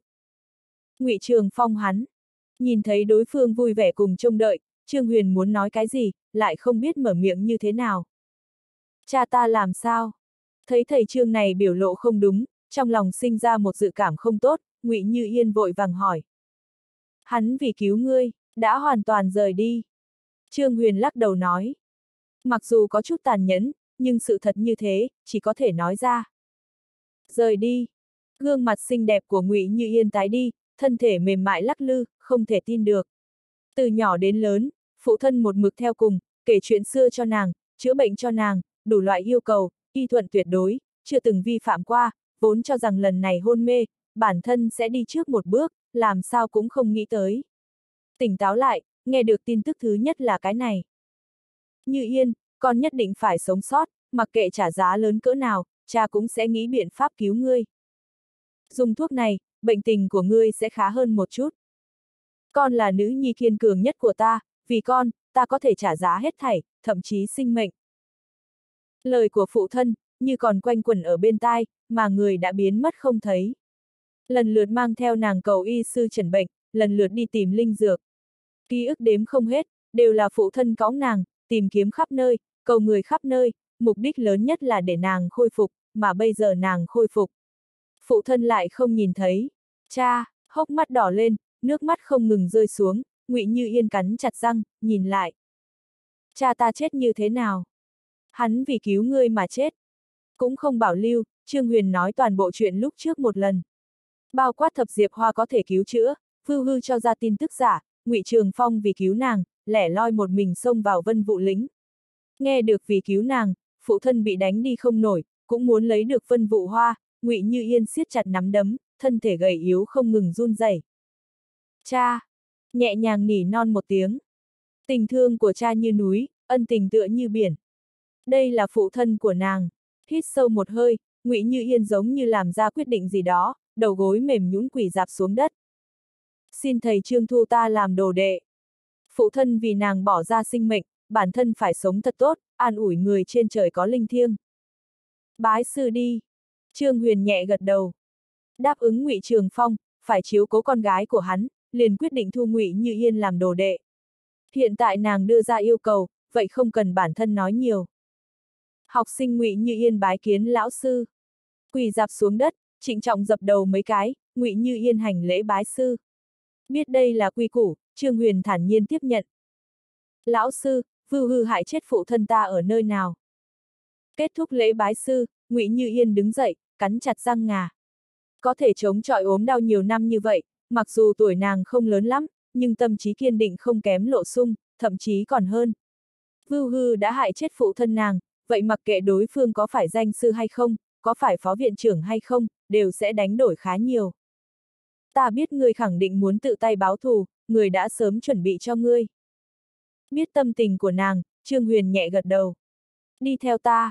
Nói xong, tinh thần khẽ động, tử dương thú xuất hiện ở trước mắt, hai người đạp vào lưng thú, truyền âm cho Ngọc Thần Thanh nói một tiếng, thẳng tắp bay về phía phủ đệ của mình. Trở lại phủ đệ, để Tôn Cường mang Vưu Hư tới. Lúc này Vưu Hư bị phong cấm tu vi, không còn diện mạo uy phong của viện trưởng trước đó, ngắn ngủi nửa tháng, đã gầy yếu tựa như da bọc xương, già trí ít hơn 10 tuổi. Người này chính là hung thủ hại chết phụ thân ngươi, xử trí như thế nào, liền giao cho ngươi. Biết trong lòng đối phương phẫn hận, không nói thêm lời, Trương Huyền khoát tay áo, xoay người đi ra ngoài. Báo thù cho phụ thân, dựa vào chính nàng, nếu như chút chuyện này cũng làm không được, cũng phải ỉ lại người khác, hắn sẽ cân nhắc có nên thu làm đệ tử hay không. chương 1637, Nguyên nhân lão viện trưởng chết một. Trở lại chỗ ở của mình, lúc này Trương Huyền mới phát giác được toàn thân mệt mỏi. Từ tìm kiếm xích huỳnh quả trở về đến bây giờ, gần hai ngày hai đêm, hầu như một chút cũng không có nghỉ ngơi, nhất là ở vân vụ lĩnh thuần phục tất cả linh thú thánh thú, hao tổn tinh thần cực lớn. Nếu không phải hồn thể to lớn, căn bản không kiên trì nổi, dù vậy sau khi trầm tĩnh lại, cũng cảm thấy đầu đau đớn kịch liệt. Trước khi ngoan nhân ngủ say, giúp ta luyện hóa vụ hồn thanh giác long thú, không còn ý thức, vừa vặn có thể khôi phục hồn phách tổn thương. Trương Huyền thở ra một hơi, cổ tay khẽ đảo, một hồn phách tinh khiết xuất hiện ở trước mắt, tinh thần khẽ động, vu hồn ly thể. Vận chuyển pháp quyết, thôn vệ hồn phách trước mắt. Xì xì xì xì. Hồn phách tinh thuần của thanh giác long thú, giống như hóa thành dòng suối ấm áp, tư dưỡng vu hồn bị hao tổn của hắn, để hắn trở nên càng thêm cường đại, càng thêm mượt mà, càng thêm óng ánh. Không lâu sau, liền hoàn toàn khôi phục, hơn nữa trở nên càng thêm lớn mạnh. Vu hồn thanh giác long thú, mặc dù chỉ là một bộ phận không trọn vẹn, không hoàn chỉnh, nhưng dù sao cũng đạt đến thánh giả ngũ trọng, lực lượng tinh thuần, linh thạch thượng phẩm cũng kém xa tít tắp. Đáng tiếc không có pháp quyết tu luyện tầm phong cảnh, nếu không, vu hồn tất nhiên có thể tiến thêm một bước. Thôn vệ một hồi, cảm thấy đạt đến bão hòa, Trương Huyền đành phải lắc đầu, thu hồn phách tinh thuần vào. Hiện tại vu hồn của hắn, chỉ có công pháp hóa phàm bát trọng đạp hư cảnh, tầm phong cảnh còn không có sửa sang lại, coi như muốn tu luyện, cũng không có cách nào. Trừ khi tăng lớn thể tích hồn phách, nhưng thật làm như vậy, chỉ sợ lại sẽ xuất hiện cục diện khó xử như ở hóa thanh trì, thân thể không xứng hồn thể, đến lúc đó thực lực chẳng những không có tăng trưởng, ngược lại sẽ trở nên yếu hơn. Đáng tiếc vân vụ lĩnh là chỗ của linh thú, không có công pháp nhân loại tu luyện, nếu không tối nay có xung kích bán thánh thử xem. Trong không gian giới chỉ của Hoàng Kim Hùng Hổ Thú, nắm giữ đủ loại bảo vật, duy chỉ không có công pháp tu luyện. Pháp quyết tu luyện của linh thú, thánh thú khác biệt nhân loại, coi như giữ lại cũng vô dụng, cho nên, căn bản không có chứa đựng. Nếu không gom góp công pháp, cách hừng đông còn có một đoạn thời gian, hoàn toàn có thể trùng kích vào bán thánh. Được rồi, hừng đông chính là đại điển kế vị, trở thành viện trưởng, tự do quan sát tất cả thư tịch, hoàn toàn có thể siêu tập được toàn bộ công pháp của bán thánh, tòng thánh. Thở ra một hơi, Trương Huyền nhẹ nhàng cười một tiếng.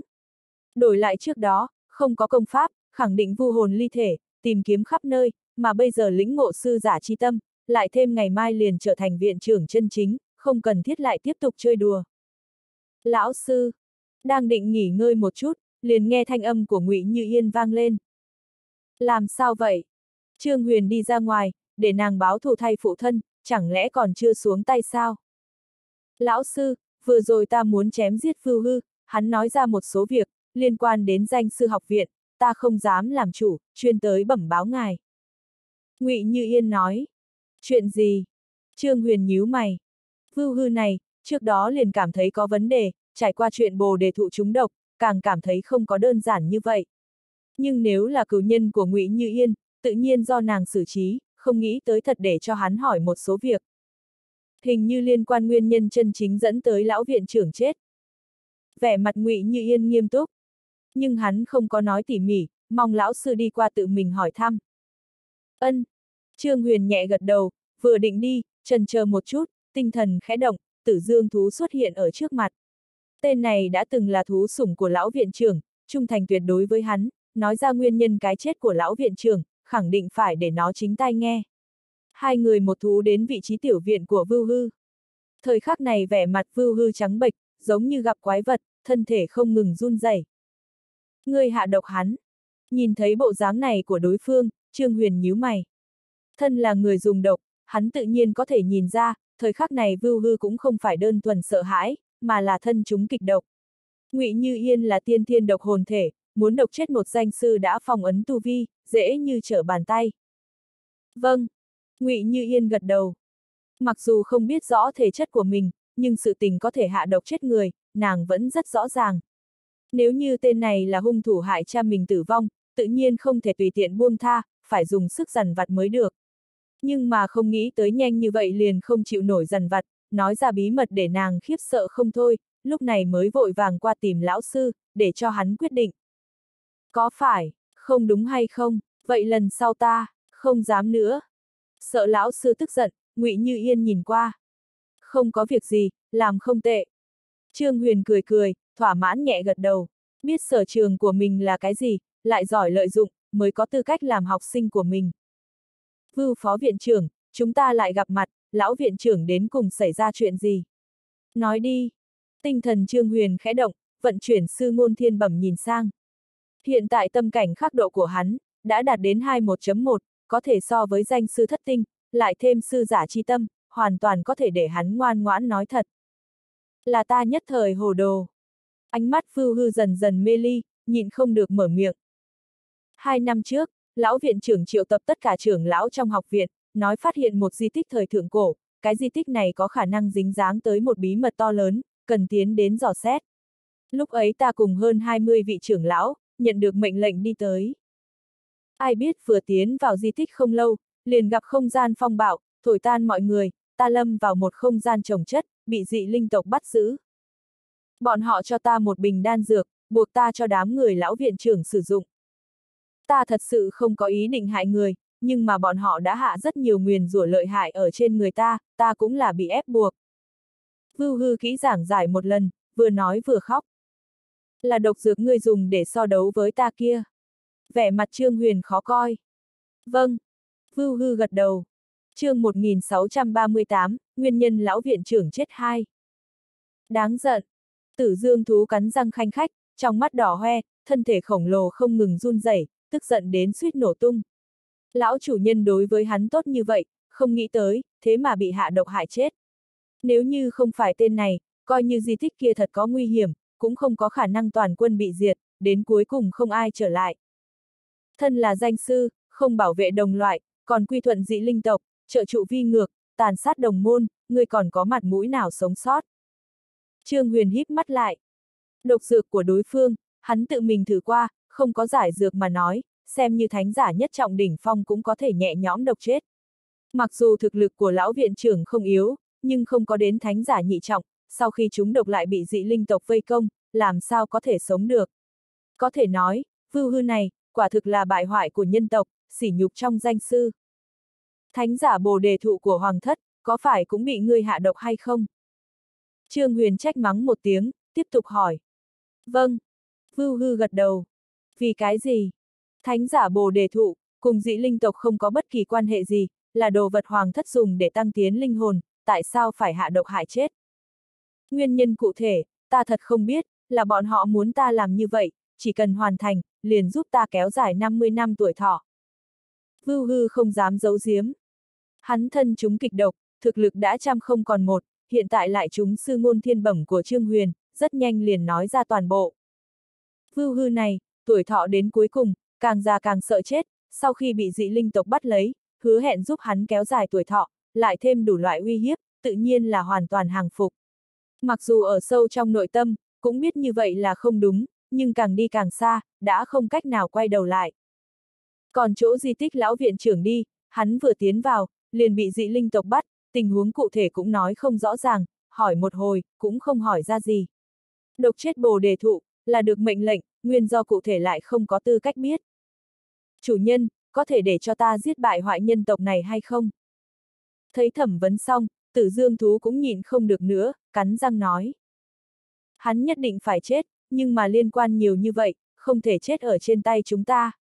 Ta sẽ để thầy Mộc mang hắn về tổng bộ, yên tâm đi, danh sư đường xử phạt phản đồ, là cực kỳ nghiêm khắc, hắn tiếp nhận còn thống khổ hơn tử vong.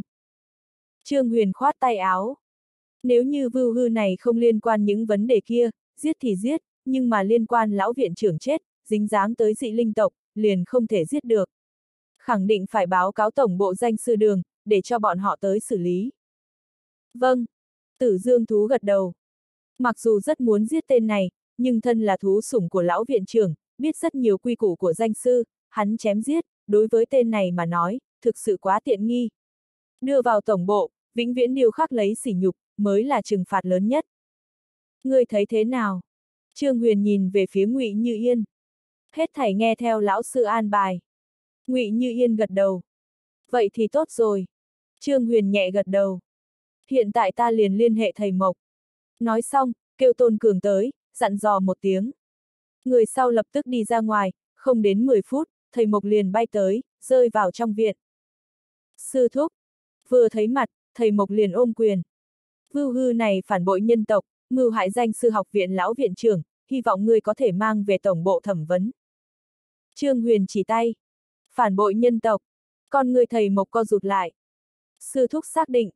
Cái tội danh này cực lớn, nhất là đối với danh sư, một khi xác lập, hủy một đời không nói, còn sẽ bị tất cả mọi người phỉ nhổ. Ân. Trương Huyền gật đầu. Vậy thì tốt, ta lập tức xử lý. Thầy Mộc biết chuyện này không thể trì hoãn, bàn tay chảo một cái, dùng chân khí vây khốn vưu hư. Hiện tại ta liền mang hắn quay về tổng bộ, lễ kế vị của sư thúc, có khả năng không tham gia được. Viện trưởng đã xác định, lễ kế vị chỉ là nghi thức mà thôi, hắn tham gia hay không đều không quan trọng. Trọng yếu là mang phản đồ của nhân tộc về. Ân. Trương Huyền khoát tay áo. Thầy Mộc không nói thêm lời, thân thể nhảy lên, thẳng tắp bay đi, rất nhanh liền biến mất. chương 1639, Bốn Đại Đế Quốc 1 Hồng Viễn Hoàng Cung, thấy Trương Huyền rời đi, lại không có xuất hiện sụp đổ, phá hư, Ngọc Thần Thanh thở phào nhẹ nhõm. Vị tân nhiệm trương viện trưởng này, thiên phú, phụ tu, ánh mắt, hiểu biết, nhân phẩm. Đều rất tốt, thiếu hụt duy nhất chính là rất thích phá hủy. Mỗi lần tới, đều sợ mất mật, sợ hắn phá hủy hoàng cung. Lần này chẳng những không có phá nhà cửa, ngược lại cứu sống bổ đề thụ, xem như ra ngoài ý định. Bệ hạ, mới vừa trở lại ngự thư phòng, lão thái giám La Phú liền đi đến. Ân, bên vân vụ lĩnh thế nào? Ngọc Thần Thanh nhìn lại. Vân vụ lĩnh gây ra động tĩnh lớn như vậy, với tư cách hoàng đế bệ hạ của Hồng Viễn đế quốc, tự nhiên cũng thời khắc chú ý, thậm chí đều lệnh binh sĩ chuẩn bị xong, tùy thời tiến công. Bẩm báo bệ hạ, vân vụ lĩnh cùng danh sư học viện đã ngưng chiến. La Phú vội vàng ôm quyền. Ngưng chiến. Ngọc Thần Thanh cao mày. Lúc ban ngày còn đánh hừng hực khí thế, không ai nhường ai, làm sao lại ngừng. Mi trưởng lão tự mình đi vân vụ lĩnh đàm phán, về sau chiến đấu liền kết thúc. La Phú nói. Đi tới vân vụ lĩnh, Trương Huyền một mực ở trên lưng hỏa long thánh thú không có xuống, lại thêm giữ bí mật thân phận, hầu như không có người biết hắn đi cùng. Đàm phán. Ngọc Thần Thanh nhìn qua. Ai yêu cầu trước? Song phương giao chiến, ai đưa ra trước, liền đại biểu đã nhận thua, ở thế yếu. Bên học viện. La Phú gật đầu. Học viện. Ngọc Thần Thanh sửng sốt. Đường đường danh sư học viện, nhận thua một đám linh thú. Còn muốn mi trưởng lão tự mình qua. Cái này, quá không thể tưởng tượng nổi. Đúng vậy, đàm phán là ở vân vụ lĩnh, tin tức cụ thể còn không có tìm hiểu ra, nhưng lúc chiều, tất cả linh thú giao chiến với danh sư học viện đã lui về. La Phú nói, linh thú cơ cảnh, cực kỳ bài xích nhân loại, lại thêm vân vụ lĩnh từ trước tới nay là vùng cấm của nhân loại, xem như hoàng thất của Hồng Viễn đế quốc, cũng rất khó điều tra tin tức. Có phải vì đại điển kế vị viện trưởng ngày mai, tiến hành một loại thỏa hiệp nào đó không? Trần chờ một chút, Ngọc Thần Thanh gật đầu.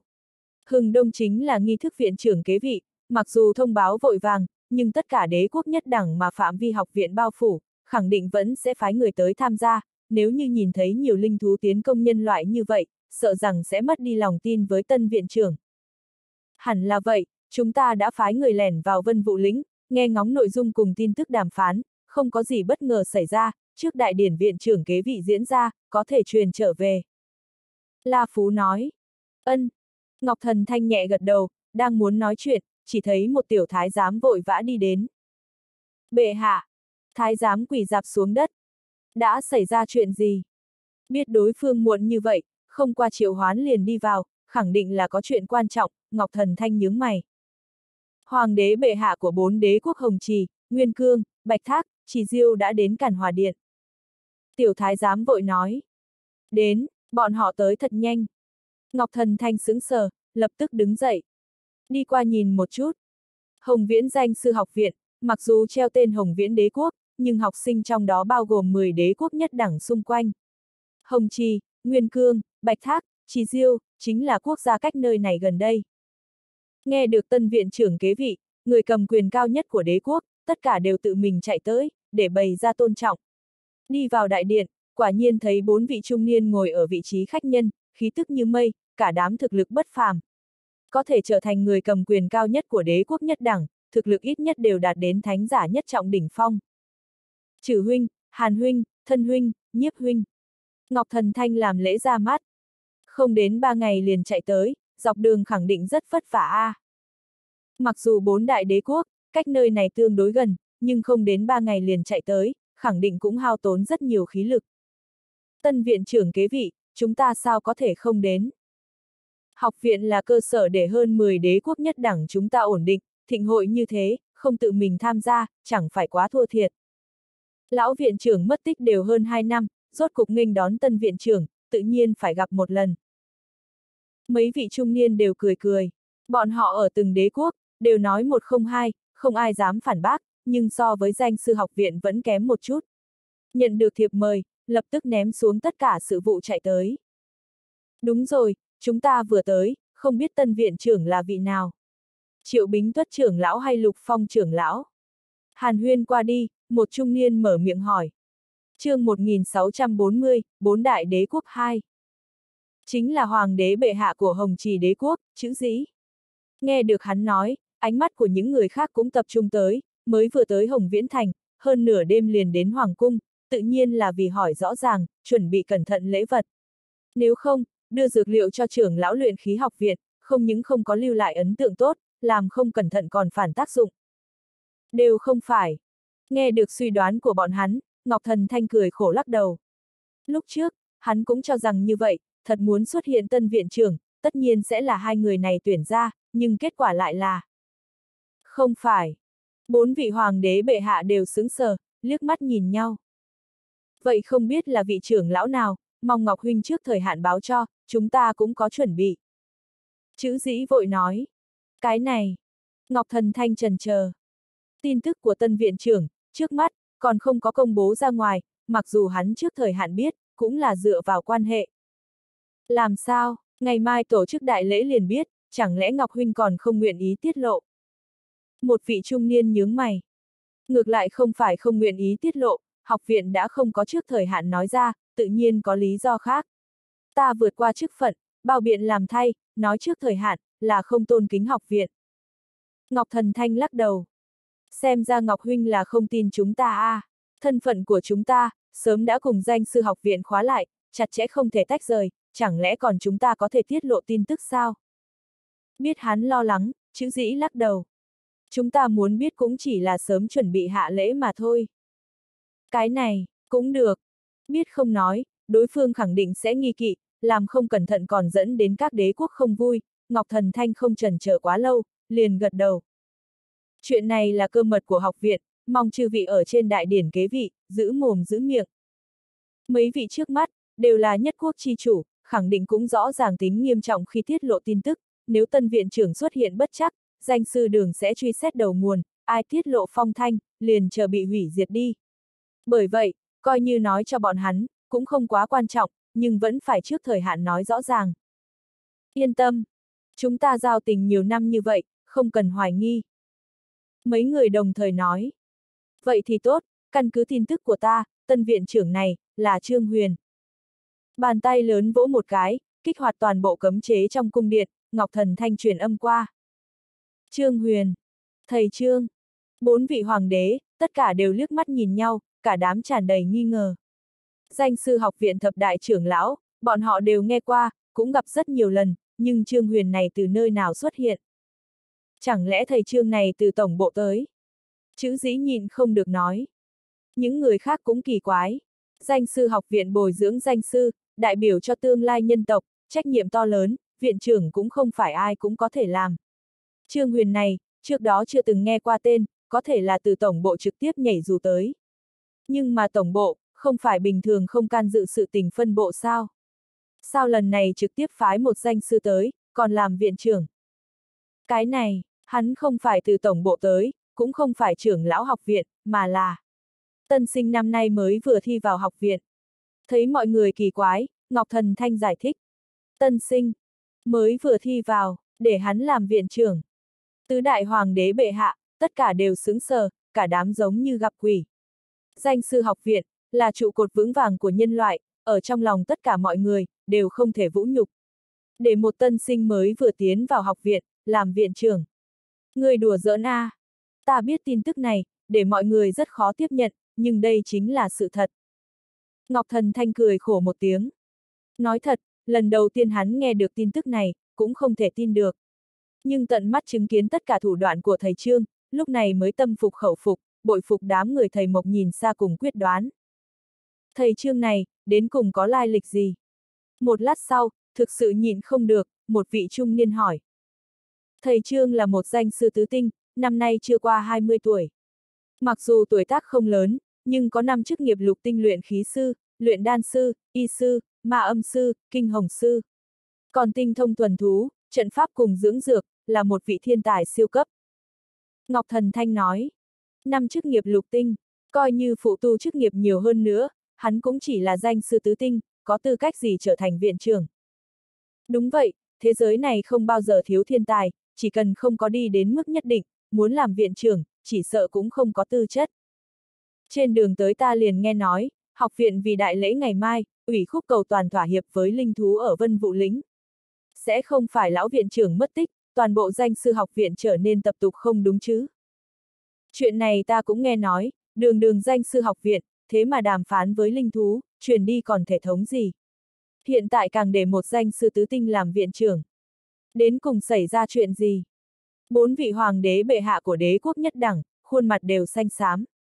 Sự tình linh thú ở vân vụ lĩnh giao chiến với danh sư học viện, bọn họ cũng nghe nói, đồng thời còn nghe nói nhân loại chủ động đàm phán. Vốn cho rằng là hoang đường, không nghĩ tới còn có sự tình càng hoang đường. Để một tiểu gia hỏa miệng còn hôi sữa, chỉ có 20 tuổi làm viện trưởng. Đây là muốn làm gì? Thấy bốn vị bệ hạ như vậy, Ngọc Thần Thanh không biết mở miệng như thế nào. Nếu như chỉ nghe niên kỳ kỳ cùng cấp bậc của thầy Trương, quả thực có thể nghĩ như vậy, nhưng tận mắt thấy, mới biết thầy Trương thoạt nhìn không lớn kia, đến cùng có bao nhiêu lợi hại. Nhất định phải hỏi rõ ràng chuyện này, nếu không, Hồng Trì đế quốc chúng ta không nhận vị viện trưởng này. Nguyên cương đế quốc chúng ta cũng không nhận. Bạch thác đế quốc cũng không nhận. Mấy vị hoàng đế bệ hạ đồng thời đứng dậy, cả đám nhíu mày. chương 1641, điều kiện khảo hạch danh sư lục tinh 1. Mặc dù những đế quốc này không có quyền quản lý viện trưởng bổ nhiệm, nhưng có thể bỏ phiếu tán thành hoặc bác bỏ, nếu quả thật không đáng tin cậy như thế, hoàn toàn có thể nghi ngờ, thậm chí báo cáo, để danh sư đường tới xử lý. Dù sao học viện vận chuyển, cần hao phí cực lớn, rất nhiều kinh phí, đều là đế quốc nhất đẳng cấp dưới không ràng buộc cung cấp. Nói cách khác, những đế quốc này hàng năm đều sẽ lấy ra một khoản kinh phí rất lớn, cung cấp cho học viện sử dụng, một viện trưởng không xứng chức, rất dễ dàng để học viện sụp đổ, tự nhiên không phải bọn họ nguyện ý nhìn thấy. Một khi tất cả đế quốc cấp dưới liên hợp báo cáo, coi như tổng bộ, khẳng định cũng sẽ nghiêm túc cân nhắc. Danh sư đường, mặc dù cao cao tại thượng, bảo hộ nhân tộc an định đoàn kết, nhưng cũng sẽ giữ quan hệ tốt với tất cả quốc gia cấp dưới, nếu không, lòng người không hướng, đứng càng cao, té càng đau. Một màn đồng dạng, cũng phát sinh ở danh sư đường của Hồng Viễn đế quốc. Nhìn chư vị đường chủ chất vấn, mà cao viễn xoa mi tâm, không biết giải thích như thế nào. Hoàng đế bệ hạ của Hồng Trì, Nguyên Cương, Bạch Thác, chỉ diêu đế quốc tới Hồng Viễn Thành, hắn có phân bộ danh sư đường, tự nhiên cũng phái người đến. Ba vị đường chủ một vị phó đường chủ, nghe được đường đường học viện, thế mà để một danh sư tứ tinh làm viện trưởng, tất cả đều vỡ tổ. Không giống đế quốc khác, bọn họ cùng danh sư học viện, chỉ thấp nửa bậc, nói cách khác, mỗi một vị đường chủ, địa vị đều tương đương thập đại trưởng lão. Lại thêm cùng là danh sư, hoàn toàn có tư cách đưa ra nghi ngờ. Mặc kệ tân nhiệm viện trưởng này đến cùng có năng lực gì, dù sao ta không phục, chờ ở trên đại hội xem ta để hắn khó xử như thế nào. Danh sư tứ tinh nho nhỏ đã muốn làm viện trưởng, cũng quá không để tất cả danh sư ở trong mắt đi. Viện trưởng không phải dễ làm như vậy, nếu không danh ngạch cũng sẽ không chống hai năm. Ánh mắt mấy vị đường chủ lóe lên. Với tư cách đường chủ địa vị tương đồng thập đại trưởng lão, nói chưa từng có ý nghĩ với vị trí viện trưởng này, cái kia là giả, nếu như một danh sư đức cao vọng trọng, thực lực cao thâm tới làm, tất nhiên nói không nên lời, thậm chí còn có thể âm thầm bội phục, nhưng một danh sư tứ tinh chỉ 20 tuổi. Có thể công nhận mới là lạ. Danh sư học viện. Tất cả học viên bị thương tụ hợp, cả đám sắc mặt tái xanh. Bành! Một học viên năm thứ tư bỗng nhiên vỗ bàn. Đường đường danh sư học viện, vậy mà nhận thua linh thú, quả thực chính là sỉ nhục. Nghe nói là tân viện trưởng kế vị, không thể xuất hiện bạo động. Nếu không mặt mũi phía trên không dễ nhìn. Vớ vẩn, vì mặt mũi của tân viện trưởng, mặt mũi của nhân tộc chúng ta ở chỗ nào? Quả thực ném đi tôn nghiêm của danh sư, ta tình nguyện cùng đối phương chiến tử xa trường, cũng không nguyện ý ở đây tham gia đại điển kế vị. Nam Nhi nhiệt huyết, từ khi trở thành danh sư, liền biết trách nhiệm cùng gánh nặng trên người, vì mặt mũi mình dạng dỡ, lại chạy tới đàm phán, quả thực mất mặt xấu hổ. Mọi người giận dữ. Chuyện phát sinh ở Vân Vũ lính Trương Huyền không để các trưởng lão khác truyền ra ngoài, những học viên tham dự chiến đấu này, cũng không biết tất cả linh thú, thánh thú đã hàng phục, còn tưởng rằng học viện đàm phán, vì tân viện trưởng kế vị có thể an ổn, nhận thua với linh thú. Nếu không, linh thú trước đó thế tới hung hăng, hận không thể ăn hết nhân loại, vì cái gì cam tâm tình nguyện lui binh. Đúng rồi, các người biết tân viện trưởng là ai không? Không biết ai hỏi. Không biết. Mọi người đồng thời lắc đầu. Tin tức tân viện trưởng phong bế rất nghiêm, coi như bọn họ là học sinh, cũng không biết rõ tình hình. Quản hắn là ai? Đàm phán với linh thú, từ khi học viện thành lập đến nay liền không có qua, loại người này, căn bản không đáng tôn trọng. Như vậy đi, ngày mai thời điểm nghi thức mở ra, không bằng chúng ta biểu tình, để vị tân viện trưởng này chính miệng nói một chút, đến cùng đáp ứng vân vụ lĩnh điều kiện tang quyền nhục viện gì. Một người nói, tốt, cứ làm như thế, ta cũng muốn nghe xem, đến cùng hứa hẹn chỗ tốt gì cho những linh thú kia, mới có thể ngoan ngoãn lui về vân vụ lính, không quấy rối nữa. Mặc dù không biết tân viện trưởng là ai, nhưng chỉ bằng vào chuyện này, liền không cách nào để người có hảo cảm. Không biết lễ kế vị còn chưa bắt đầu, liền để vô số người cừu thị, Trương Huyền truyền thụ ngụy như yên pháp quyết tu luyện, an bài xong tu luyện, ngày đã sáng rõ. Đang định nghỉ ngơi một chút, ăn điểm tâm, chỉ thấy mi trưởng lão tới bái phòng. Viện trưởng, đây là quá trình đại lễ kế nhiệm, người nhìn một lần, làm quen một chút. Nói xong đưa tới một ngọc phiến, phía trên viết đầy chữ. Nhìn thoáng qua, Trương Huyền nhìn không được nhíu mày. Nghi thức kế nhiệm, quả nhiên không đơn giản như trong tưởng tượng, không chỉ phải tiếp nhận sư đồ toàn trường nghi vấn, còn phải ở trước mặt mọi người tế bái tất cả tiên tổ của học viện, sau khi nhận được tán thành, mới có thể tiếp nhận ý niệm sư đồ gia trì, ngưng tụ viện trưởng lệnh, trở thành viện trưởng chân chính.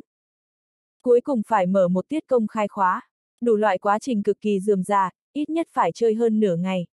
Nhưng muốn trở thành học viện viện trưởng thủ hộ mười mấy đế quốc nhất đẳng, không trải qua những thứ này, khẳng định rất khó phục chúng. Đáp vấn hội, là sư đồ học viện khảo hạch tân viện trưởng, chỉ cần biểu hiện tốt, có thể đề cao độ công nhận. Tình huống bình thường là đại biểu học sinh, đại biểu lão sư cùng với danh sư đường khác đặt câu hỏi hoặc khiêu chiến, viện trưởng cấp cho trả lời chắc chắn, cơ bản đều là tu luyện, hoặc nghề nghiệp phụ tu. Lấy lý giải của thầy Trương đối với đủ loại chức nghiệp, cùng nhận thức tu luyện, hẳn là rất nhẹ nhàng. Thấy hắn không nói lời nào, sợ không hiểu, mi trưởng lão cười giải thích.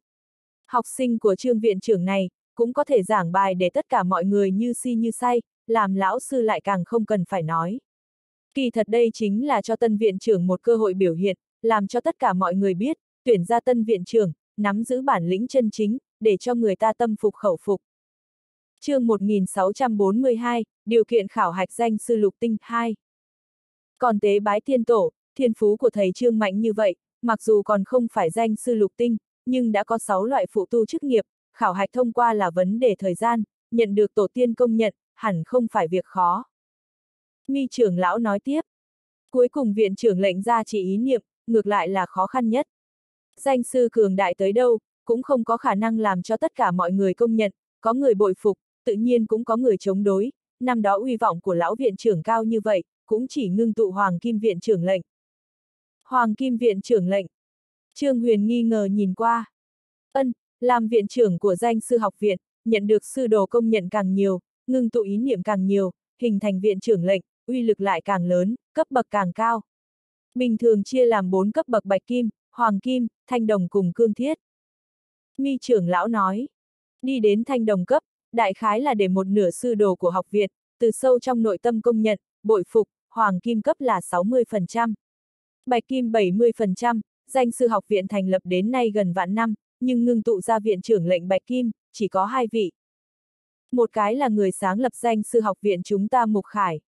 Thầy Mộc làm người chân thành, coi học viên như con, năm đó bộc phát chiến đấu, sung phong đi đầu, thân chúng hơn 130 vết thương, mà không lui về phía sau, thậm chí còn tán hết gia sản cứu chữa học viên.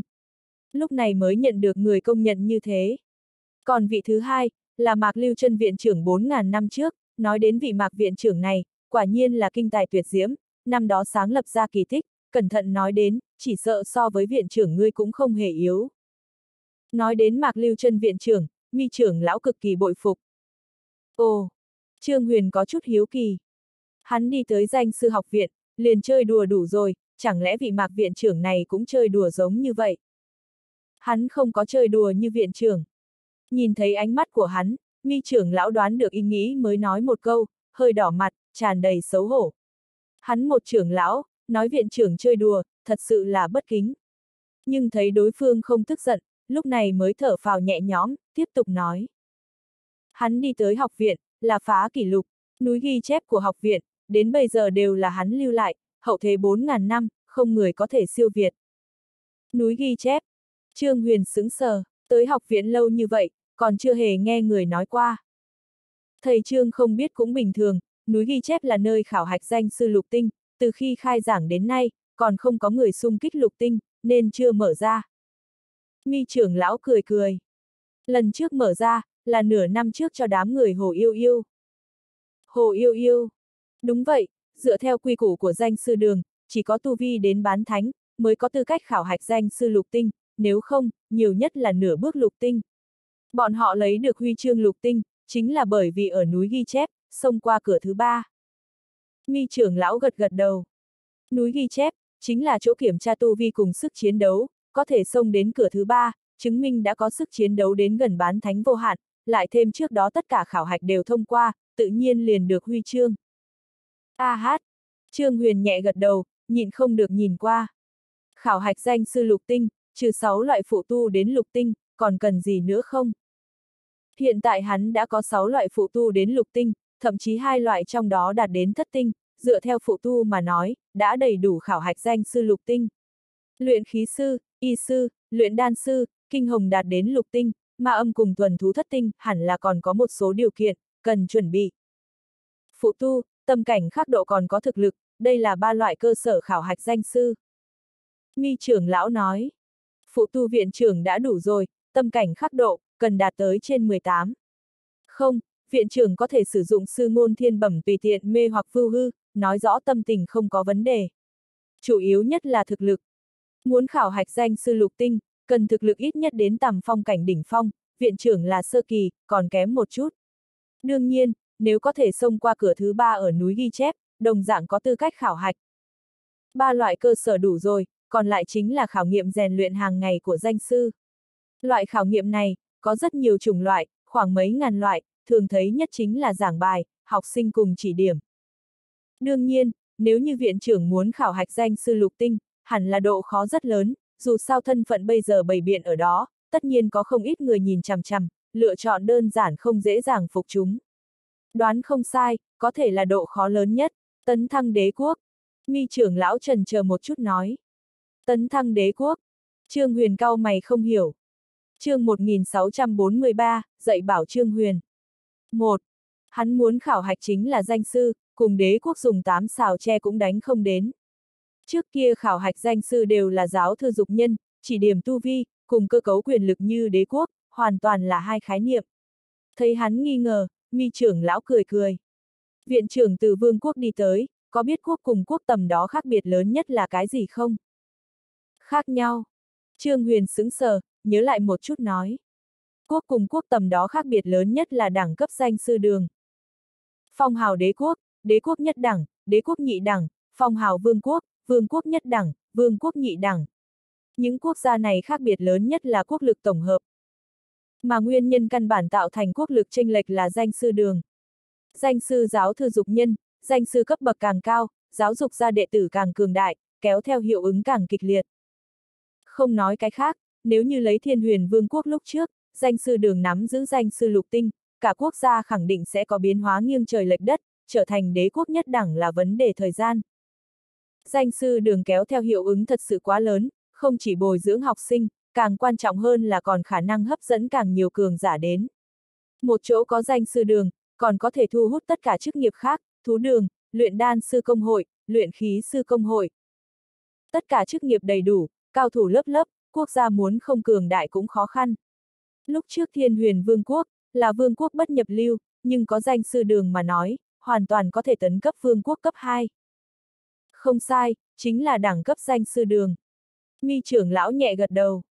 Cấp bậc danh sư đường càng cao, quốc gia liền càng cường đại, đây đã là quy định bất thành văn của đại lục, rất nhiều vương quốc, đế quốc, đều lấy danh sư đường làm trung tâm, thành lập quốc đô. Thật giống như Hồng Viễn Thành, sở dĩ có thể ngật đứng không ngã, chủ yếu bởi vì nơi này có danh sư học viện. Mặc dù danh sư đường mặc kệ quốc gia hưng suy, nhưng mà chỗ có danh sư đường, cường giả nhất định như rừng, ngoại nhân không dám tùy tiện xâm phạm. Khảo hạch danh sư bình thường, là tiến hành kiểm tra, đối chiếu sự thật với mỗi tiếng nói cử động của một người, người khác biệt, thân là học viện viện trưởng, không riêng gì người, còn liên quan đến toàn bộ học viện. Thấy hắn hiểu được, mi trưởng lão tiếp tục giải thích. Cái gọi là tấn thăng đế quốc, kỳ thật chính là để ngươi lựa chọn một phong hào vương quốc, nhờ vào cá nhân cố gắng, một lần nữa tổ kiến danh sư đường, để nó thuận lợi tấn thăng làm đế quốc. Khảo hạch này không riêng gì năng lực cá nhân, càng liên quan tới nắm chắc cùng khống chế toàn cục, độ khó cực lớn. Thì ra là thế. Khóe miệng Trương Huyền co giật, da mặt nhảy lên, nhịn không được nhìn lại. Cái này, hiện tại không làm viện trưởng còn kịp không không? Mi trưởng lão. Sớm biết làm viện trưởng phiền toái như vậy, liền không nên đáp ứng, chuyện này là sao a? À? Mặt mũi Trương Huyền u oán. Vốn cho rằng làm viện trưởng chuyện gì cũng không cần quản, còn có thể đi tàng thư quán tùy ý đọc sách, lúc này mới đáp ứng. Ai biết, không chỉ đại điển kế vị phiền toái như vậy, khảo hạch danh sư lục tinh cũng gia tăng độ khó. Sớm biết như thế, làm phá viện trưởng này làm gì? Còn không bằng an ổn khảo hạch danh sư lục tinh, tu vi tấn cấp đến thánh giả, xoay người rời đi. Cái này tốt rồi, bị trói ở trên cái xe nát này của học viện. Thật là một lần sai đủ thành thiên cổ hận, Trương Huyền vô cùng buồn phiền. Khụ khụ, sắp sặc nước bọt mà chết, vẻ mặt mi trưởng lão im lặng nhìn qua. Mặc dù độ khó khảo hạch danh sư lục tinh gia tăng, nhưng một khi thông qua khảo hạch, cơ sở cũng sẽ càng thêm vững chắc, danh sư cấp bậc khảo hạch cao hơn cũng sẽ dễ dàng không ít. Nguyên nhân chính là như thế, không ít danh sư thiên phú cao, đều nguyện ý xin khảo hạch độ khó càng lớn, tới rèn luyện bản thân. Người khác có thể lên làm viện trưởng, sẽ cao hứng tìm không thấy phương hướng, thầy trương ngược lại tốt, thế mà mặt mũi hụ oán. Nếu như bộ dáng này của người bị Lục Phong biết, không biết có thể phun ra một ngụm lão huyết, tươi sống tức chết hay không. Vì vị trí viện trưởng này, trả giá nhiều như vậy, rút cuộc lấy giỏ chúc mốc nước, người nhận được không, còn không tình nguyện. Dễ dàng khảo hạch danh sư cấp bậc cao hơn. Vâng, nếu như viện trưởng có thể thông qua tấn thăng đế quốc khảo nghiệm, về sau thời điểm khảo hạch danh sư thất tinh, chỉ cần ba loại cơ sở đầy đủ, liền có thể trực tiếp xin. Không cần lại tiến hành. Giáo thư dục nhân, chỉ điểm tu vi mấy người khảo hạch. Mi trưởng lão giải thích. Nói cách khác, chỉ cần có thể hoàn thành khảo nghiệm này, chẳng khác nào nắm giữ giấy thông hành thông hướng danh sư thất tinh, sau đó tiếp tục tích lũy tu vi, rèn luyện tâm tình, hoàn thành phụ tu là được. Còn có loại chuyện tốt này. Nghe nói như thế, ánh mắt Trương Huyền nguyên bản buồn bực đột nhiên sáng lên. Mỗi lần khảo hạch danh sư, đều cần một đống lớn quy tắc, thông qua khảo hạch này, về sau có thể trực tiếp trở thành danh sư thất tinh, tương đương với tiết kiệm thật nhiều phiền phức, giá trị tuyệt đối cao. Đúng vậy. Mi trưởng lão gật đầu. Mặc dù thoạt nhìn, tiết kiệm được trình tự khảo hạch danh sư thất tinh, nhưng tấn thăng một đế quốc, cần không chỉ năng lực, ánh mắt cùng chỉ điểm, càng quan trọng hơn là thời gian. Để một phong hào vương quốc tấn thăng làm đế quốc, dù chỉ là bất nhập lưu, cũng không phải một hai cao thủ liền có thể giải quyết, mà là nội tình hùng hậu. Tăng lên nội tình, tất nhiên cần tốn thời gian rất lâu, năm đó Mạc Lưu chân viện trưởng, liền lựa chọn khảo hạch này, vì tấn thăng đế quốc, cho dù loại thiên phú như hắn, cũng hao tốn 3 năm thời gian. Tốt, ta quyết định, dùng tấn thăng đế quốc tới khảo hạch danh sư lục tinh. Trương Huyền gật đầu. Mi trưởng lão lần nữa không nói. Làm sao cảm giác viện trưởng này làm sự tình như trò đùa thế nhỉ? Đây chính là khó khăn nhất trong khảo hạch danh sư lục tinh, rất nhiều người tránh không kịp, muốn cự tuyệt liền cự tuyệt, nói đáp ứng liền đáp ứng, có thể suy nghĩ nhiều một hồi hay không? chương 1644, dạy bảo Trương Huyền. 2. Coi như thật đồng ý, cũng nhân cái lông mày, trên mặt có chút biểu lộ khó xử, ý tứ không muốn một chút a. À. Người ngược lại tốt, trực tiếp gật đầu đáp ứng, mặt không đổi sắc, có phải không ý thức được độ khó của khảo hạch này hay không? Đang muốn nhắc nhở một chút, nhưng lập tức lắc đầu. Vị tân nhiệm viện trưởng này, mỗi lần đều có thể làm ra sự tình khiến người ta nghẹn họng nhìn chân chối, sáng tạo ra kỳ tích làm người khó có thể tin. Thật giống như trước đó ở Vân Vũ Lĩnh, hắn cho rằng thật là qua đàm phán, rút cuộc, là qua bứng hang ổ của người ta. Trong mắt hắn tấn thăng đế quốc khó khăn nhất, có lẽ ở trong mắt đối phương, không đáng kể chút nào. ngẩng đầu nhìn thời gian một chút, biết đại điển kế vị cần phải chuẩn bị từ sớm, không tiếp tục dây dưa vấn đề này nữa. Viện trưởng, đi học viện thôi, triệu bính tuất trưởng lão cùng thiên công viện, đã vì ngươi chuyên môn chế tạo một bộ y phục, tốt nhất hiện tại qua thử xem có vừa người không. Còn làm quần áo. Trương Huyền sửng sốt một chút, cũng không nhiều lời. Đại điển kế vị viện trưởng, long trọng mà tráng lệ, mặc một bộ danh sư phục bình thường tự nhiên không được. Hắn rời phủ, đi về phía học viện. Lúc này danh sư học viện người ta tấp nập, tất cả gia tộc ở Hồng Viễn Thành, các đại đế quốc xung quanh. Vô số cường giả hội tụ, tuyệt đối là thịnh hội hiếm có. Vì phòng ngừa người khác phát hiện gây nên phiền toái không cần thiết, hai người ngồi thánh thú, trực tiếp đi vào trưởng lão viện. Danh sư học viện dòng người nhúc nhích, khắp nơi đều là bóng người. Nhược hoan, tin tức của ngươi linh thông, có biết tân viện trưởng là ai không? Trên đường phố rộng rãi, một thanh niên nhìn không được hỏi. Trước mặt hắn, là thanh niên áo trắng, tay cầm quạt xếp, có vẻ ngọc thụ lâm phong, một bộ thế gia công tử. Chính là nhược hoan công tử cùng Trương Huyền từ vạn quốc liên minh tới. Mà đối diện hắn tra hỏi, cũng là lão bằng hữu của Trương Huyền, một trong mấy người sáng lập huyền huyền hội. Tống siêu. Ta sao biết được? Nhược hoan công tử lắc đầu. Tân viện trưởng là bí mật lớn nhất của học viện, đoán chừng chỉ có thể chờ lễ kế vị bắt đầu mới biết. Mặc dù nhân viên của huyền huyền hội vô số, chiếm gần toàn bộ một nửa học viên của học viện, nhưng đối với tân viện trưởng là ai, lại không có dò xét điều tra ra. Là ai cũng tốt, tuyệt đối không nên là lục phong trưởng lão. Hắn có mâu thuẫn với hội trưởng, một khi thành viện trưởng, huyền huyền hội chúng ta 89 phần 10 sẽ bị giải tán. Tống siêu lo lắng. Đúng vậy, chỉ có thể trông đợi không phải hắn A. Nhược hoan công tử lắc đầu, đang muốn tiếp tục nói chuyện, chỉ thấy một thanh niên vội vã chạy tới. Nhược hoan, người biết hiện tại hội trưởng ở đâu không? Là một thành viên của huyền huyền hội, học sinh năm thứ ba. Tìm hội trưởng gấp gáp như vậy làm gì? Nhược hoan công tử cao mày.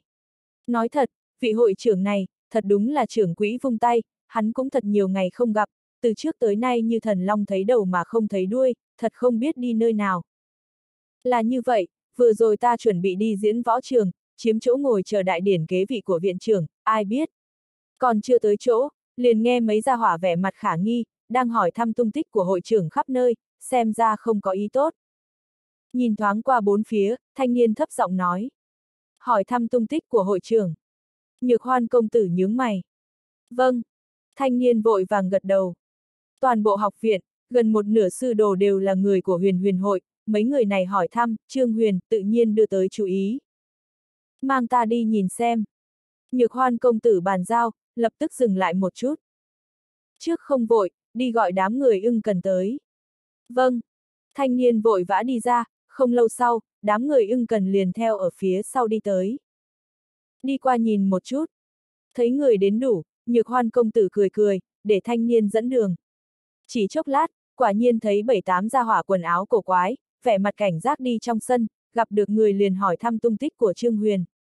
Nhưng hiện tại thầy Trương ngay cả hắn cũng không tìm được, những người này tự nhiên càng không cách nào tìm kiếm. Chậm rãi tới gần, dựng thẳng lỗ tai lên, lập tức nghe được đối phương cố ý áp chế đối thoại.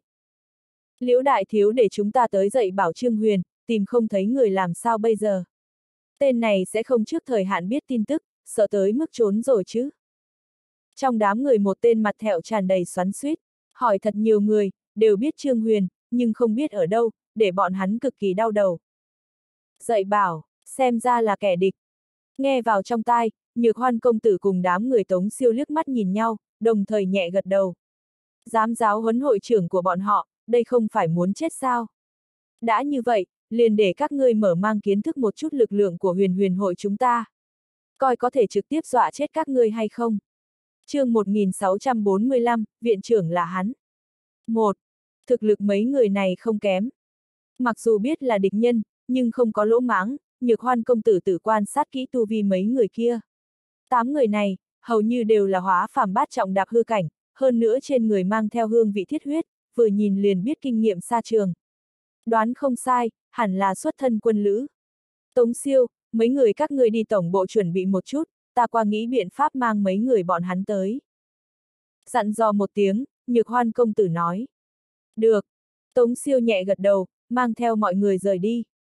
Thấy bọn họ đi xa, lúc này nhược hoan công tử mới thở ra một hơi, vẻ mặt mỉm cười đi thẳng về phía trước. Mấy vị bằng hữu nghe nói các người muốn tìm Trương Huyền. Đúng, người biết hắn ở chỗ nào. Mấy người đang sầu muộn, nghe nói như thế ánh mắt tất cả đều sáng lên, đồng loạt nhìn qua. Đương nhiên biết, ta cùng hắn là bằng hữu. Nếu không như vậy, ta mang các ngươi đi tìm hắn. Nhược hoan công tử nở nụ cười, vẻ mặt thành khẩn, thoạt nhìn cực kỳ nhiệt tình cùng thân mật. Quá tốt rồi. Đang giàu tìm không ra, thấy người này muốn giúp đỡ, mấy người đến đây giáo huấn Trương Huyền đều hưng phấn suýt chút nữa nhảy lên. Không hổ là danh sư học viện, danh sư bên trong quá nhiệt tình, quá thân mật. Khó trách là thánh địa người người hướng tới, chỉ là thái độ đối đãi người xa lạ này, cũng làm người ta bội phục. Liền phiền phức vị tiểu huynh đệ này. Trong đám người, một thanh niên dẫn đầu đi tới.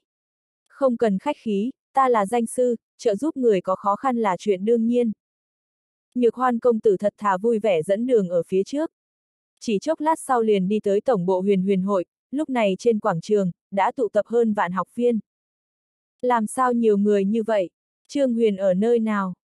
Nhìn thấy ở đây nhiều danh sư như vậy, mấy người tê cả ra đầu. a à, Trương Huyền là tân sinh, tự nhiên ở chỗ này. Các ngươi cũng biết, năm nay tân sinh có chút nhiều, loại tràng diện này rất bình thường, yên tâm đi, tất cả mọi người là danh sư, coi trọng đúng mực, sẽ không làm loạn. Nhược hoan công tử cười cười, đi đến đám người. Mấy người theo ở phía sau, mặc dù âm thầm cảnh giác, nhưng nghĩ đến đây là danh sư học viện, liền yên lòng, đi đến giữa đám người. Được rồi, chính là mấy vị này muốn giáo huấn hội trưởng. Đột nhiên dừng chân, thanh âm của nhược hoan công tử vang lên. Đánh nhiệt tình cho ta, hỏi một chút kẻ chủ mưu phía sau là ai. Được. Dám tìm hội trưởng phiền phức, muốn chết. Mấy người còn không kịp phản ứng, chỉ thấy công kích phô thiên cái địa đổ ập xuống. Nắm đấm, bàn chân, côn sắt, cục gạch, chậu hoa, ghế. Thậm chí còn có giày hoa. Lốp bốp.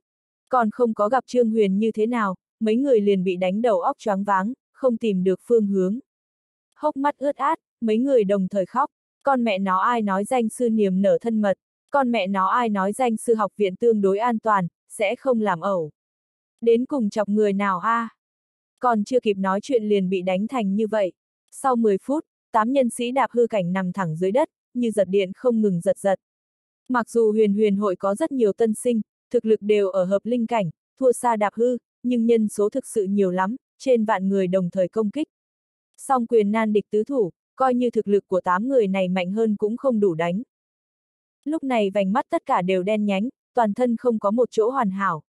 Thấy tiếp tục đánh nữa, khẳng định sẽ cúp máy, nhược hoan công tử bảo mọi người ngừng lại, đi lên phía trước, cẩn thận hỏi thăm. Lại hơn 10 phút sau liền không chịu nổi, chỉ có thể ngoan ngoãn nhận tội. Là liễu tuyển cùng thẩm quân của tứ đại gia tộc, để chúng ta tới, nói chỉ cần giáo huấn trương huyền này một trầu, liền cho chúng ta 10 viên linh thạch thượng phẩm. Tên mặt thẹo cầm đầu nói.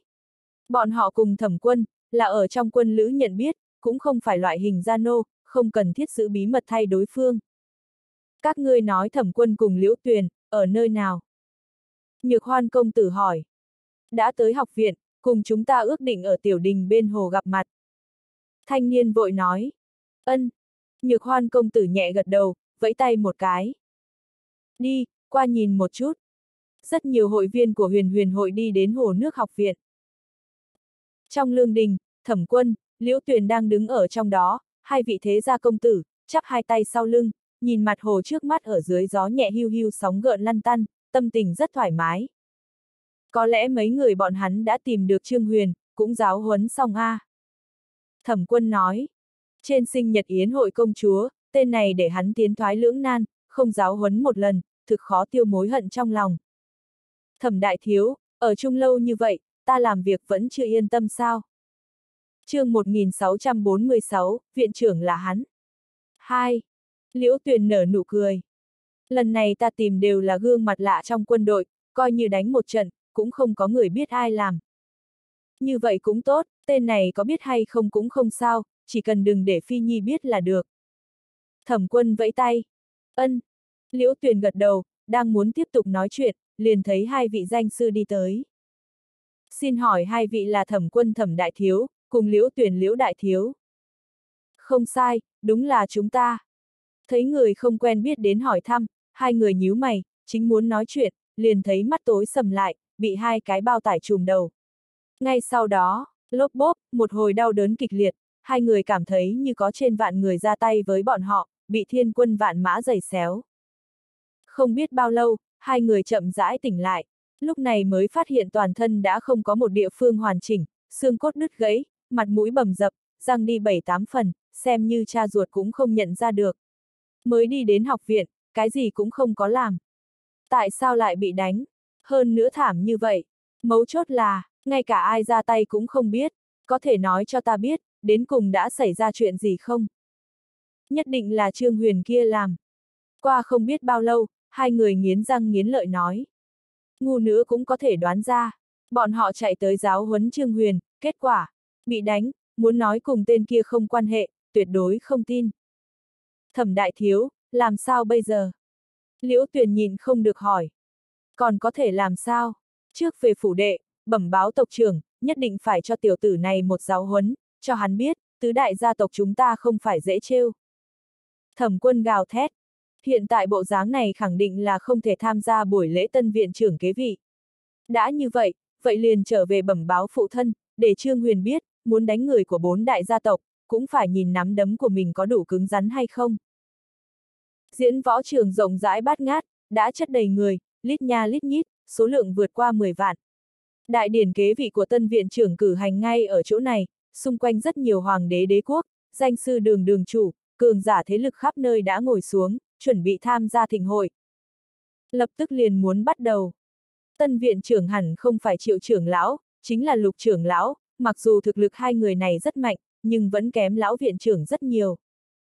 Đúng vậy, đáng tiếc lão viện trưởng mất tích, đến bây giờ còn chưa trở về, ai cũng không biết sống hay chết. Căn cứ học viện để lộ ra tin tức, hẳn là giữ nhiều lành ít. Tân viện trưởng mới vừa kế vị, liền thỏa hiệp với vân vụ lính. qua một hồi xuất hiện, chúng ta cùng một chỗ chất vấn. Được, khuất phục linh thú, ta không phục, muốn biết, đến cùng đáp ứng đối phương điều kiện gì. Dưới đài nghị luận ầm ý, ánh mắt tất cả mọi người tập trung ở trên đài cao, muốn nhìn một chút tân viện trưởng đến cùng là ai. Hô! Đang nghị luận, liền có mấy lão giả bay tới. Chư vị yên tĩnh. Nói chuyện là Triệu Bính Tuất. Tất cả mọi người sững sờ, hắn xuất hiện, chẳng lẽ. Tân viện trưởng là Lục Phong. Mặc dù nghi hoặc, nhưng tất cả mọi người vẫn đình chỉ thảo luận. Hai năm trước lão viện trưởng mất đi tung tích, danh sư học viện liền nằm ở trạng thái chia rẽ, mặc dù không xuất hiện sơ suất lớn, nhưng cũng làm trái tổ huấn. Ba ngày trước, do thầy Mộc dẫn đầu, thập đại trưởng lão tuyển chọn, rốt cục tuyển cử ra tân viện trưởng. Ngắm nhìn bốn phía, thanh âm của triệu bính tuất lang lãng vang lên, mang theo lực xuyên thấu, tất cả mọi người có thể nghe rõ ràng. Hôm nay là đại điển kế vị của tân viện trưởng, hy vọng hắn có thể dẫn đầu học viện chúng ta, càng đi càng xa, một lần nữa đi về phía huy hoàng. Tốt, hiện tại tiến hành khâu thứ nhất của đại điển, cho mời viện trưởng lên đài. Nương theo thanh âm kết thúc, một bóng người, chậm rãi từ dưới đài cao đi lên. Nhìn thấy bóng người này, tất cả mọi người đều ngẩn ngơ, nhất là học sinh của học viện, cả đám mở to hai mắt nhìn, không thể tin được. Hội trưởng đi lên làm gì? Không phải là bởi vì mâu thuẫn với lục trưởng lão, muốn làm loạn chứ? Phá luyện đan sư công hội, đại náo y sư học viện, làm luyện đan sư học viện không còn bóng người. Ngược lại cũng thôi, dù sao cũng là tiểu đà tiểu nháo ở trong học viện, hiện tại nhiều người nhìn như vậy. Nguy rồi, mau kéo hội trưởng xuống.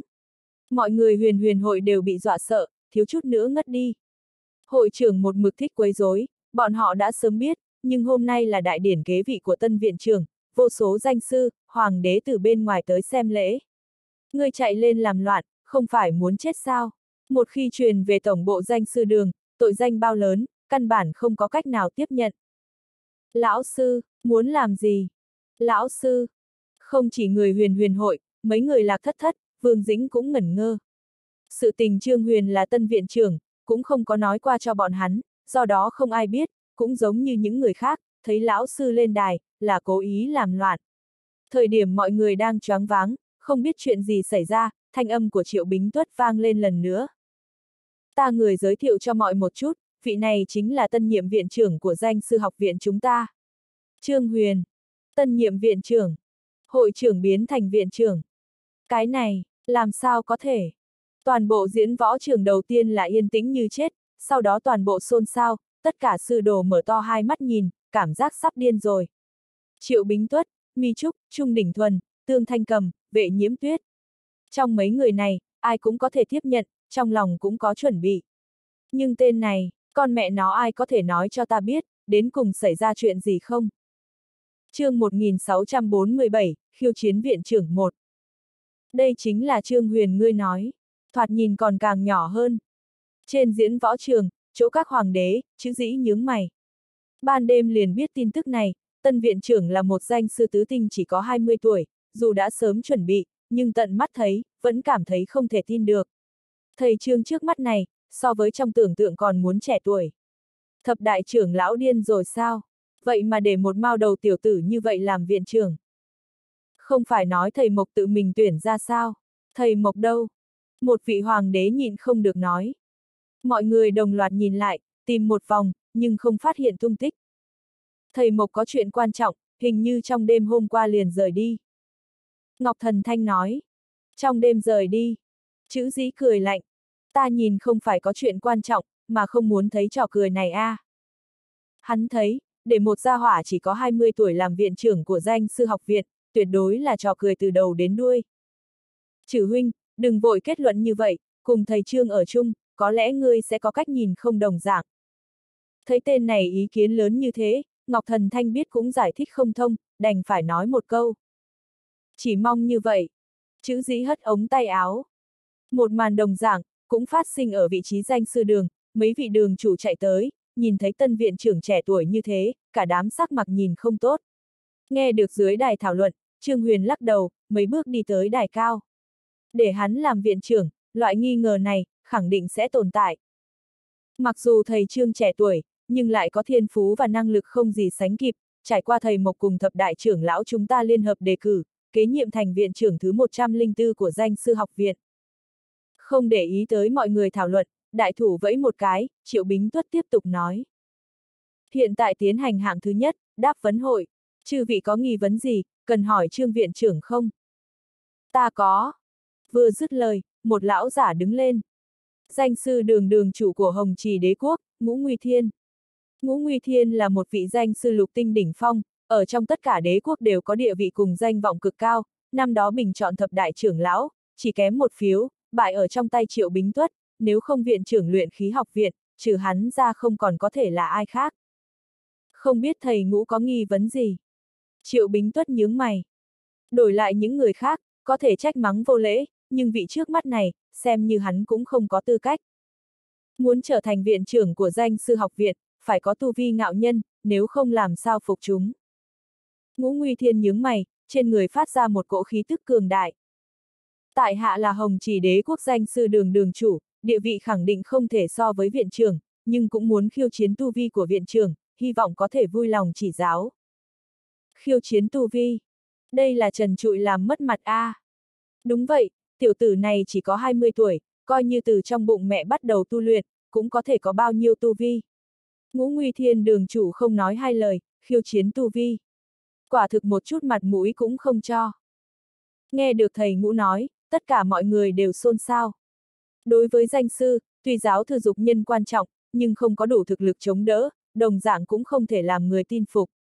Thật giống như một hóa phàm cảnh, muốn chỉ điểm cường giả thánh cảnh, tu vi không đủ, nói dễ nghe đi nữa, cũng phải tin tưởng mới được.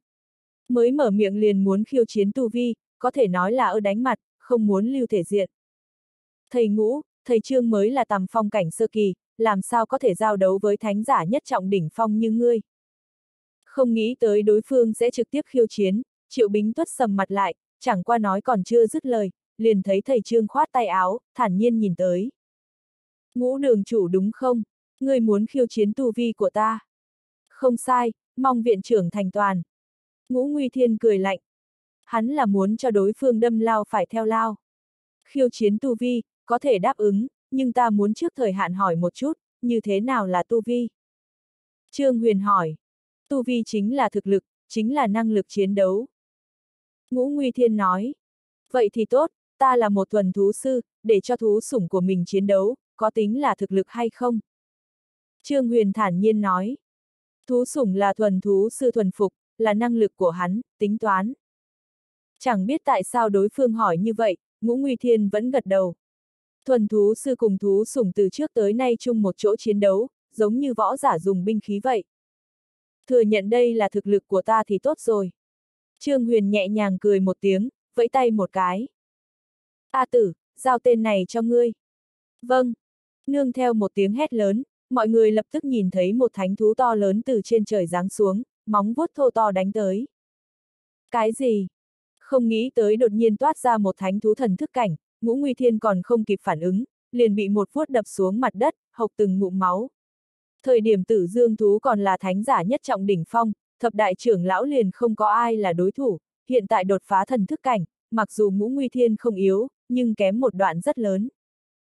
Tốt, ta giới thiệu cho mọi người một chút, đây là thú sủng ta thu phục. Thấy tử dương một tay đập đối phương không rõ sống chết, Trương Huyền cũng không đi quản, nhìn quanh một vòng, thản nhiên nói. Tử dương thú không phải thú sủng của lão viện trưởng sao? Làm sao bị thầy Trương thuần phục? Chương 1648, khiêu chiến viện trưởng 2. Hình như thực lực của tử dương tiền bối so với trước kia càng thêm cường đại. Thực lực của thú sủng, cũng đại biểu thuần thú sư, nếu tử dương thú là thú sủng của thầy Trương, như vậy liền cho thấy, hắn nắm giữ sức chiến đấu siêu việt thánh giả nhất trọng đỉnh phong. Nghe được giới thiệu, phía dưới một hồi yên lặng. Sở dĩ thuần thú sư mạnh mẽ, là bởi vì thú sủng, đối phương có sủng vật lợi hại như vậy, ai còn dám nói thực lực hắn không đủ. Có thể thuần phục tử dương thú, quả thực có thực lực nhất định, có điều, chỉ có thực lực là mãng phu, muốn làm học viện viện trưởng, còn cần có tâm cảnh khắc độ siêu nhiên. Ta muốn cùng viện trưởng tỉ thí tâm cảnh khắc độ, không biết viện trưởng có thể thành toàn hay không. Dưới đài lại một giọng nói vang lên. Triệu Bính Tuất nhìn lại. Nói chuyện chính là nguyên cương đế quốc danh sư đường liêu thông đường chủ. Vị liêu đường chủ này, thực lực hơi kém ngũ nguy thiên một chút, nhưng làm người trầm ổn, am hiểu tâm cảnh khắc độ, nghe nói đã đạt đến lục tinh đỉnh phong 20.9, bất cứ lúc nào cũng sẽ đột phá, đến danh sư thất tinh. Tỷ thí tâm cảnh khắc độ. Trương Huyền sững sờ. Không sai. Liêu thông đường chủ gật đầu. Đối phương nắm giữ tử dương thú, hơn nữa còn là thánh thú thần thức cảnh, nhờ vào võ lực, muốn chiến thắng, gần như không có khả năng, chỉ có những biện pháp khác, để hắn tiến thoái lưỡng nan. Một khi thành công, cái gọi là đại điển kế vị cũng chẳng khác nào biến thành chuyện cười. Tốt, không biết tỉ thí như thế nào. Trương Huyền nhấc mí mắt. Rất đơn giản, người ta từng người thi triển sư ngôn thiên bẩm, ai có thể mê hoặc đối phương, người đó liền chiến thắng. Liêu thông đường chủ cười lạnh. Mê hoặc. Trương Huyền lắc đầu. Đổi điều kiện đi, ta không muốn khi dễ ngươi. Sư ngôn thiên bẩm của hắn, phối hợp sư giả chi tâm, ngay cả 10 vạn linh thú ở vân vụ lính cũng có thể mê hoặc thần phục tại chỗ, người một danh sư lục tinh, ở đâu ra tự tin. Ngươi, thân thể nhoáng một cái, liêu thông đường chủ suýt chút nữa tức chết. Ta đường đường danh sư lục tinh đỉnh phong, tâm cảnh khắc độ đến 20.9, muốn khiêu chiến ngươi, thế mà ngươi nói không muốn khi dễ ta. Vớ vẩn. Thế nào, không dám. Liêu thông đường chủ cắn răng. Đã cố chấp như vậy, so thoáng một chút cũng không sao, như vậy đi, vừa rồi vị ngũ đường chủ kia đã bị thương, người trước cứu hắn đi. Ánh mắt Trương Huyền lóe lên, thanh âm mang theo ý vị đặc thù. Vâng. Liêu thông đường chủ sửng sốt một chút, vội vàng đi tới trước mặt, vận chuyển chân khí, bàn tay lớn vồ một cái, rút ngũ đường chủ từ dưới đất ra, mới vừa làm xong những thứ này, đột nhiên sửng sốt một cái. Đối phương nói chuyện, hắn liền đi làm, rất rõ ràng, đã bị mê hoặc. Ngươi! Khuôn mặt xanh xám, đang muốn nói chuyện, liền nghe thanh niên trên đài vẻ mặt lạnh nhạt nhìn qua. người tu luyện có chút vấn đề, gần đây có phải vẫn cảm thấy yết hầu phát khô, hổ dương huyệt mơ hồ đau hay không?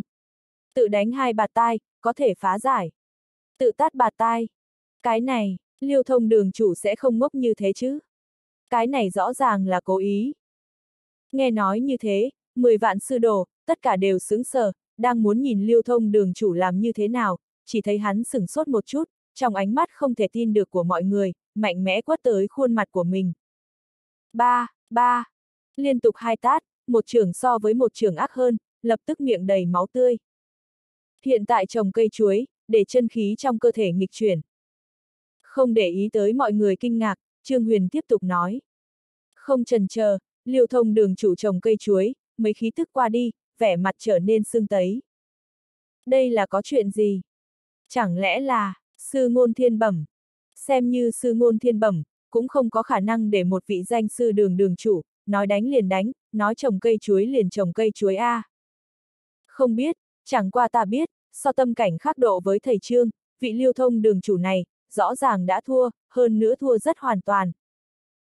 Nhìn thấy liêu thông đường chủ mới vừa rồi còn lời thề son sắt, muốn cho Trương Huyền khó coi, lại tự đánh mặt, trồng cây chuối, tất cả mọi người ngây ngất, muốn giải thích cũng không biết giải thích như thế nào. Tất cả mọi người là danh sư, đều nắm giữ năng lực sư ngôn thiên bẩm, nhưng một câu nói, để hắn tự mình hại mình, làm ra dáng vẻ không thể tưởng tượng, lại làm sao cũng làm không được. Cái này đã nhảy ra hạn chế sư ngôn thiên bẩm. Trừ khi, thầy Trương cũng không phải đang đùa hắn, mà là nói không có sai lầm chút nào, để lưu thông đường chủ không cách nào cãi lại, thân thể không tự chủ được thuận theo.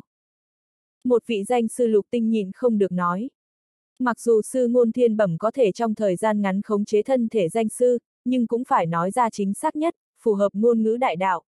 Đối phương để lưu thông đường chủ làm như vậy, mặc dù không biết tại sao, nhưng khẳng định không có sai lầm, nếu không, coi như tâm cảnh khắc độ của thầy cao hơn trương lưu thông đường chủ, cũng không có khả năng nói gì nghe nấy, không có thể phản bác chút nào.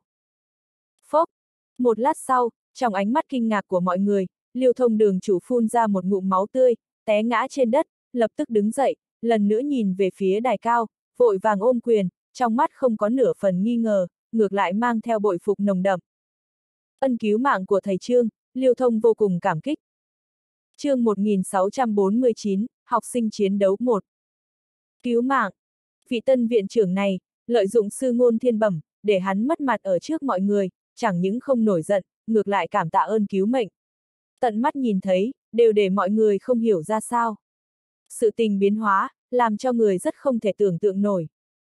Tại hạ nóng lòng cầu thành, trong tu luyện xuất hiện chỗ nhầm lẫn, từ đó làm cho chân khí trong cơ thể chạy không thoải mái, hổ dương huyệt mơ hồ phát đau, thận lực suy kiệt, vốn cho rằng không phải đại sự gì, chỉ cần về sau chú ý liền có thể giải quyết.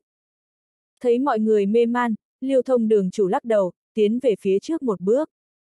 Trải qua thầy trương chỉ điểm mới biết, cái này đã thương tới căn bản thân thể. Tự đánh hai tát, mở ra long khê huyệt, xích dương huyệt ở cổ. Huyệt vị mở ra, trước đó ràng buộc lập tức không trở ngại. Sau đó lại trồng cây chuối, để chân khí trong cơ thể lưu thông trôi chảy. Mới một lần hành động giải quyết tai họa ngầm. Ta nghi ngờ trương viện trưởng, phát động khiêu chiến, nhưng hắn không những không so đo, còn giúp ta chữa thương. Có lòng dạ của danh sư chân chính. Từ hôm nay trở đi, danh sư đường của Nguyên Cương đế quốc ta, ủng hộ hắn làm viện trưởng, chết không thay đổi. Liêu thông đường chủ giơ tay lên nói. Còn có thể như vậy. Đánh hai bạt tai, sau đó trồng cây chuối, liền giải quyết tai họa ngầm. Dưới đài xôn xao, nhiều người đưa mắt nhìn nhau, nếu không phải tận mắt thấy trước đó làm khó, thật hoài nghi có phải vị liêu đường chủ này cùng đối phương hát đôi hay không. Trương viện trưởng này, ở vị trí hoàng đế, chữ dĩ nuốt ngụm nước bọt. Xem ra thật có chút thực lực. Trước đó hắn cùng mấy vị đường chủ tràn đầy nghi ngờ, cảm thấy người trước mắt này còn quá trẻ, lên làm viện trưởng tất là có nguyên nhân khác, nhìn thấy liên tục giải quyết hai vị đường chủ nghi ngờ, cấp tốc mau lẹ, không dây dưa dài dòng, nghiễm nhiên có phong độ của tông sư, trong lòng không khỏi xuất hiện biến hóa. Tiếp tục xem đi, ta vẫn cảm thấy quá trẻ tuổi. Một vị hoàng đế bệ hạ khác lắc đầu. Mặc dù tuổi tác không phải nhân tố quyết định danh sư, nhưng cũng ảnh hưởng cực lớn, không có tuế nguyệt lắng động, tâm tính, phẩm đức, đều khó tránh khỏi có chỗ tùy tiện, để cho người ta không dám tin phục. Tâm cảnh khắc độ của thầy Trương, ngay cả liêu đường chủ cũng không sánh nổi, tại hạ bội phục. Đang khi nói chuyện, lại có một lão giả đứng lên. Nhưng muốn trở thành viện trưởng nhất định phải có bản lĩnh giáo thư dục nhân, tại hạ bất tài, chỉ điểm qua mấy học sinh, hơn nữa hôm nay đều đến nơi này. Không biết học sinh của thầy Trương ở đâu, có thể để bọn hắn luận bàn một chút, chứng minh giảng bài yêu khuyết hay không? Học sinh luận bàn. Đề nghị này đủ hung ác. Nghe nói như thế, chung quanh xôn xao. Chức trách của lão sư là giảng bài, là thủ đoạn phán xét yêu khuyết trực tiếp nhất, chính là giáo dục học sinh, học sinh càng mạnh, nói rõ càng mạnh. Đường đường viện trưởng của danh sư học viện, không có năng lực truyền thụ học sinh, nói dễ nghe đi nữa cũng uổng công. Có thể nói lão giả này, so với hai người trước còn ác hơn. Nếu như nói ngũ nguy thiên, liêu thông chỉ là đánh mặt, tên này tương đương ép người lên ngõ cụt. Thầy trương này là thiên tài, năng lực bản thân rất mạnh, nhưng chỉ 20 tuổi, thực lực lại chỉ có tầm phong cảnh, có thể có bao nhiêu học sinh lợi hại. Soạt! Lão giả này vừa dứt lời, một trung niên đứng lên, hai tay chấn động, một khí thức cố hùng hậu xông thẳng lên trời. Lại là thánh giả nhất trọng hậu kỳ. Loại thực lực này, coi như ở danh sư học viện cũng là trưởng lão. Viện trưởng, người kia là bạch thác đế quốc danh sư đường thiết thương vân đường chủ. Vị này nếu như không nhìn lầm, hẳn là học sinh thân truyền của hắn Hồng Lâm. Đã theo hắn học tập qua 100 năm, 35 năm trước liền đạt đến thánh giả nhất trọng. Triệu Bính tuất vội vàng truyền âm. Giáo dục vượt qua 100 năm. Trương Huyền không còn gì để nói. Điên rồi, thánh giả nhất trọng hậu kỳ, lại theo một vị đường chủ học tập vượt qua trăm năm, bất kể thực lực hay ánh mắt, khẳng định đều là cực cao, có thể nói, cùng cấp bậc vô địch. Đổi lại yêu cầu khác, có lẽ còn có thể từ chối, nhưng học sinh này ở giữa tỷ thí, liên quan sư đạo tôn nghiêm cùng năng lực cơ sở của lão sư, căn bản không từ chối được. Nói cách khác, đối phương khiêu chiến, làm danh sư, kiêm học viện viện trưởng, tiếp cũng phải tiếp, không tiếp cũng phải tiếp, không thể lui về phía sau, cũng không cách nào lui về phía sau. Không hổ là người mạnh nhất của một phương danh sư đường, cả đám đều không phải đèn đã cạn dầu. Trong lòng đang cảm khái, trung niên nhân tên Hồng Lâm liền nhìn lại, hai tay ôm quyền. Tại hạ nguyện cùng học sinh của viện trưởng chiến một trận, không biết các vị ở chỗ nào. Chúng ta ở đây. Vừa dứt lời, mấy thanh âm thanh thúy vang lên, mọi người đồng loạt nhìn lại, lập tức nhìn thấy đám người Vương Dĩnh, Trịnh Dương đứng lên. Bọn họ là khách khanh trưởng lão của học viện, lễ kế vị của tân viện trưởng, tự nhiên không thể vắng mặt. Lúc này Vương Dĩnh đã đột phá hợp linh cảnh, đạt đến kiều thiên cảnh. Kiều thiên cảnh 16-17 tuổi, đi đến bất kỳ địa phương nào, cũng được cho là thiên tài tuyệt đỉnh, nhưng thật muốn tỉ thí với Hồng Lâm, lại kém một đoạn thật lớn. Không có hy vọng chiến thắng. Võ kỹ học viện viện trưởng tu trường thanh lắc đầu. Đám người Vương Dĩnh là hắn mời tới, làm khách khanh trưởng lão, biết rất rõ ràng thực lực của bọn hắn. Cơ sở đánh rất kiên cố, cùng cấp bậc được cho hàng đầu, nhưng cường giả thánh cảnh như Hồng Lâm thực quá cường đại, coi như áp chế tu vi, nhờ vào nhãn lực cùng kiến thức, cũng có thể nhẹ nhõm nghiền ép.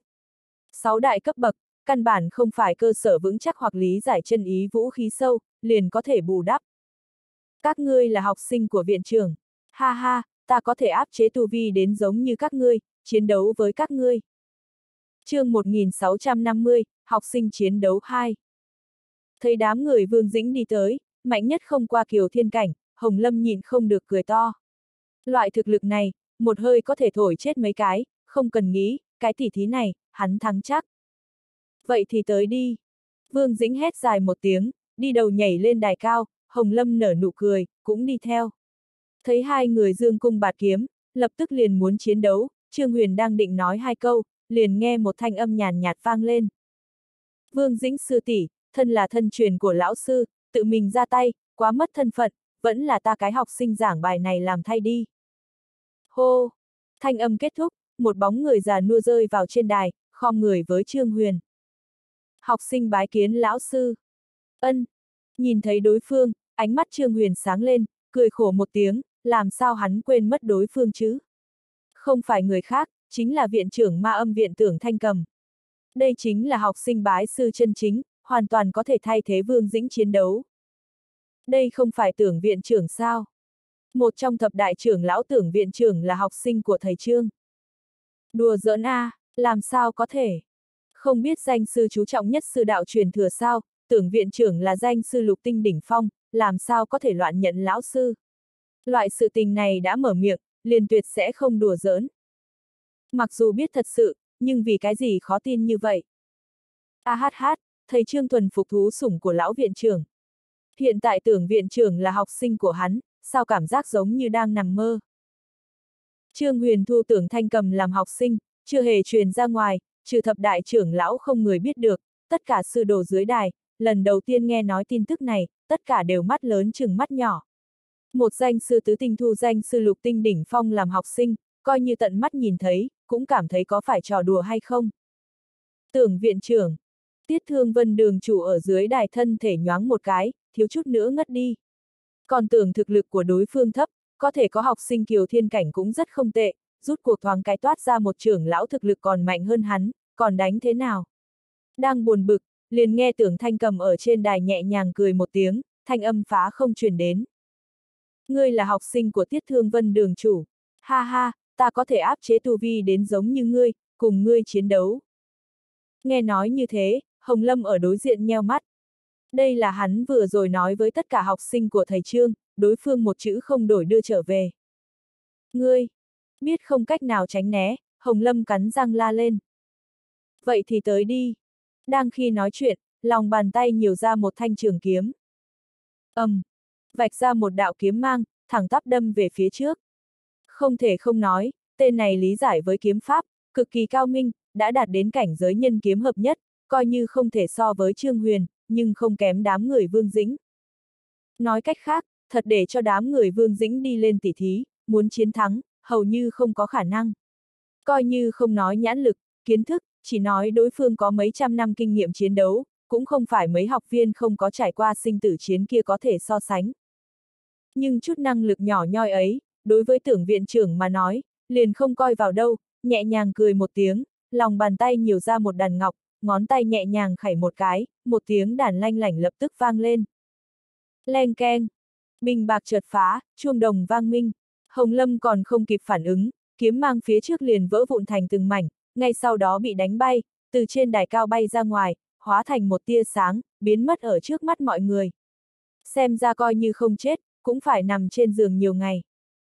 Ma âm sư thất tinh. Tiết Thương Vân chợt đứng lên.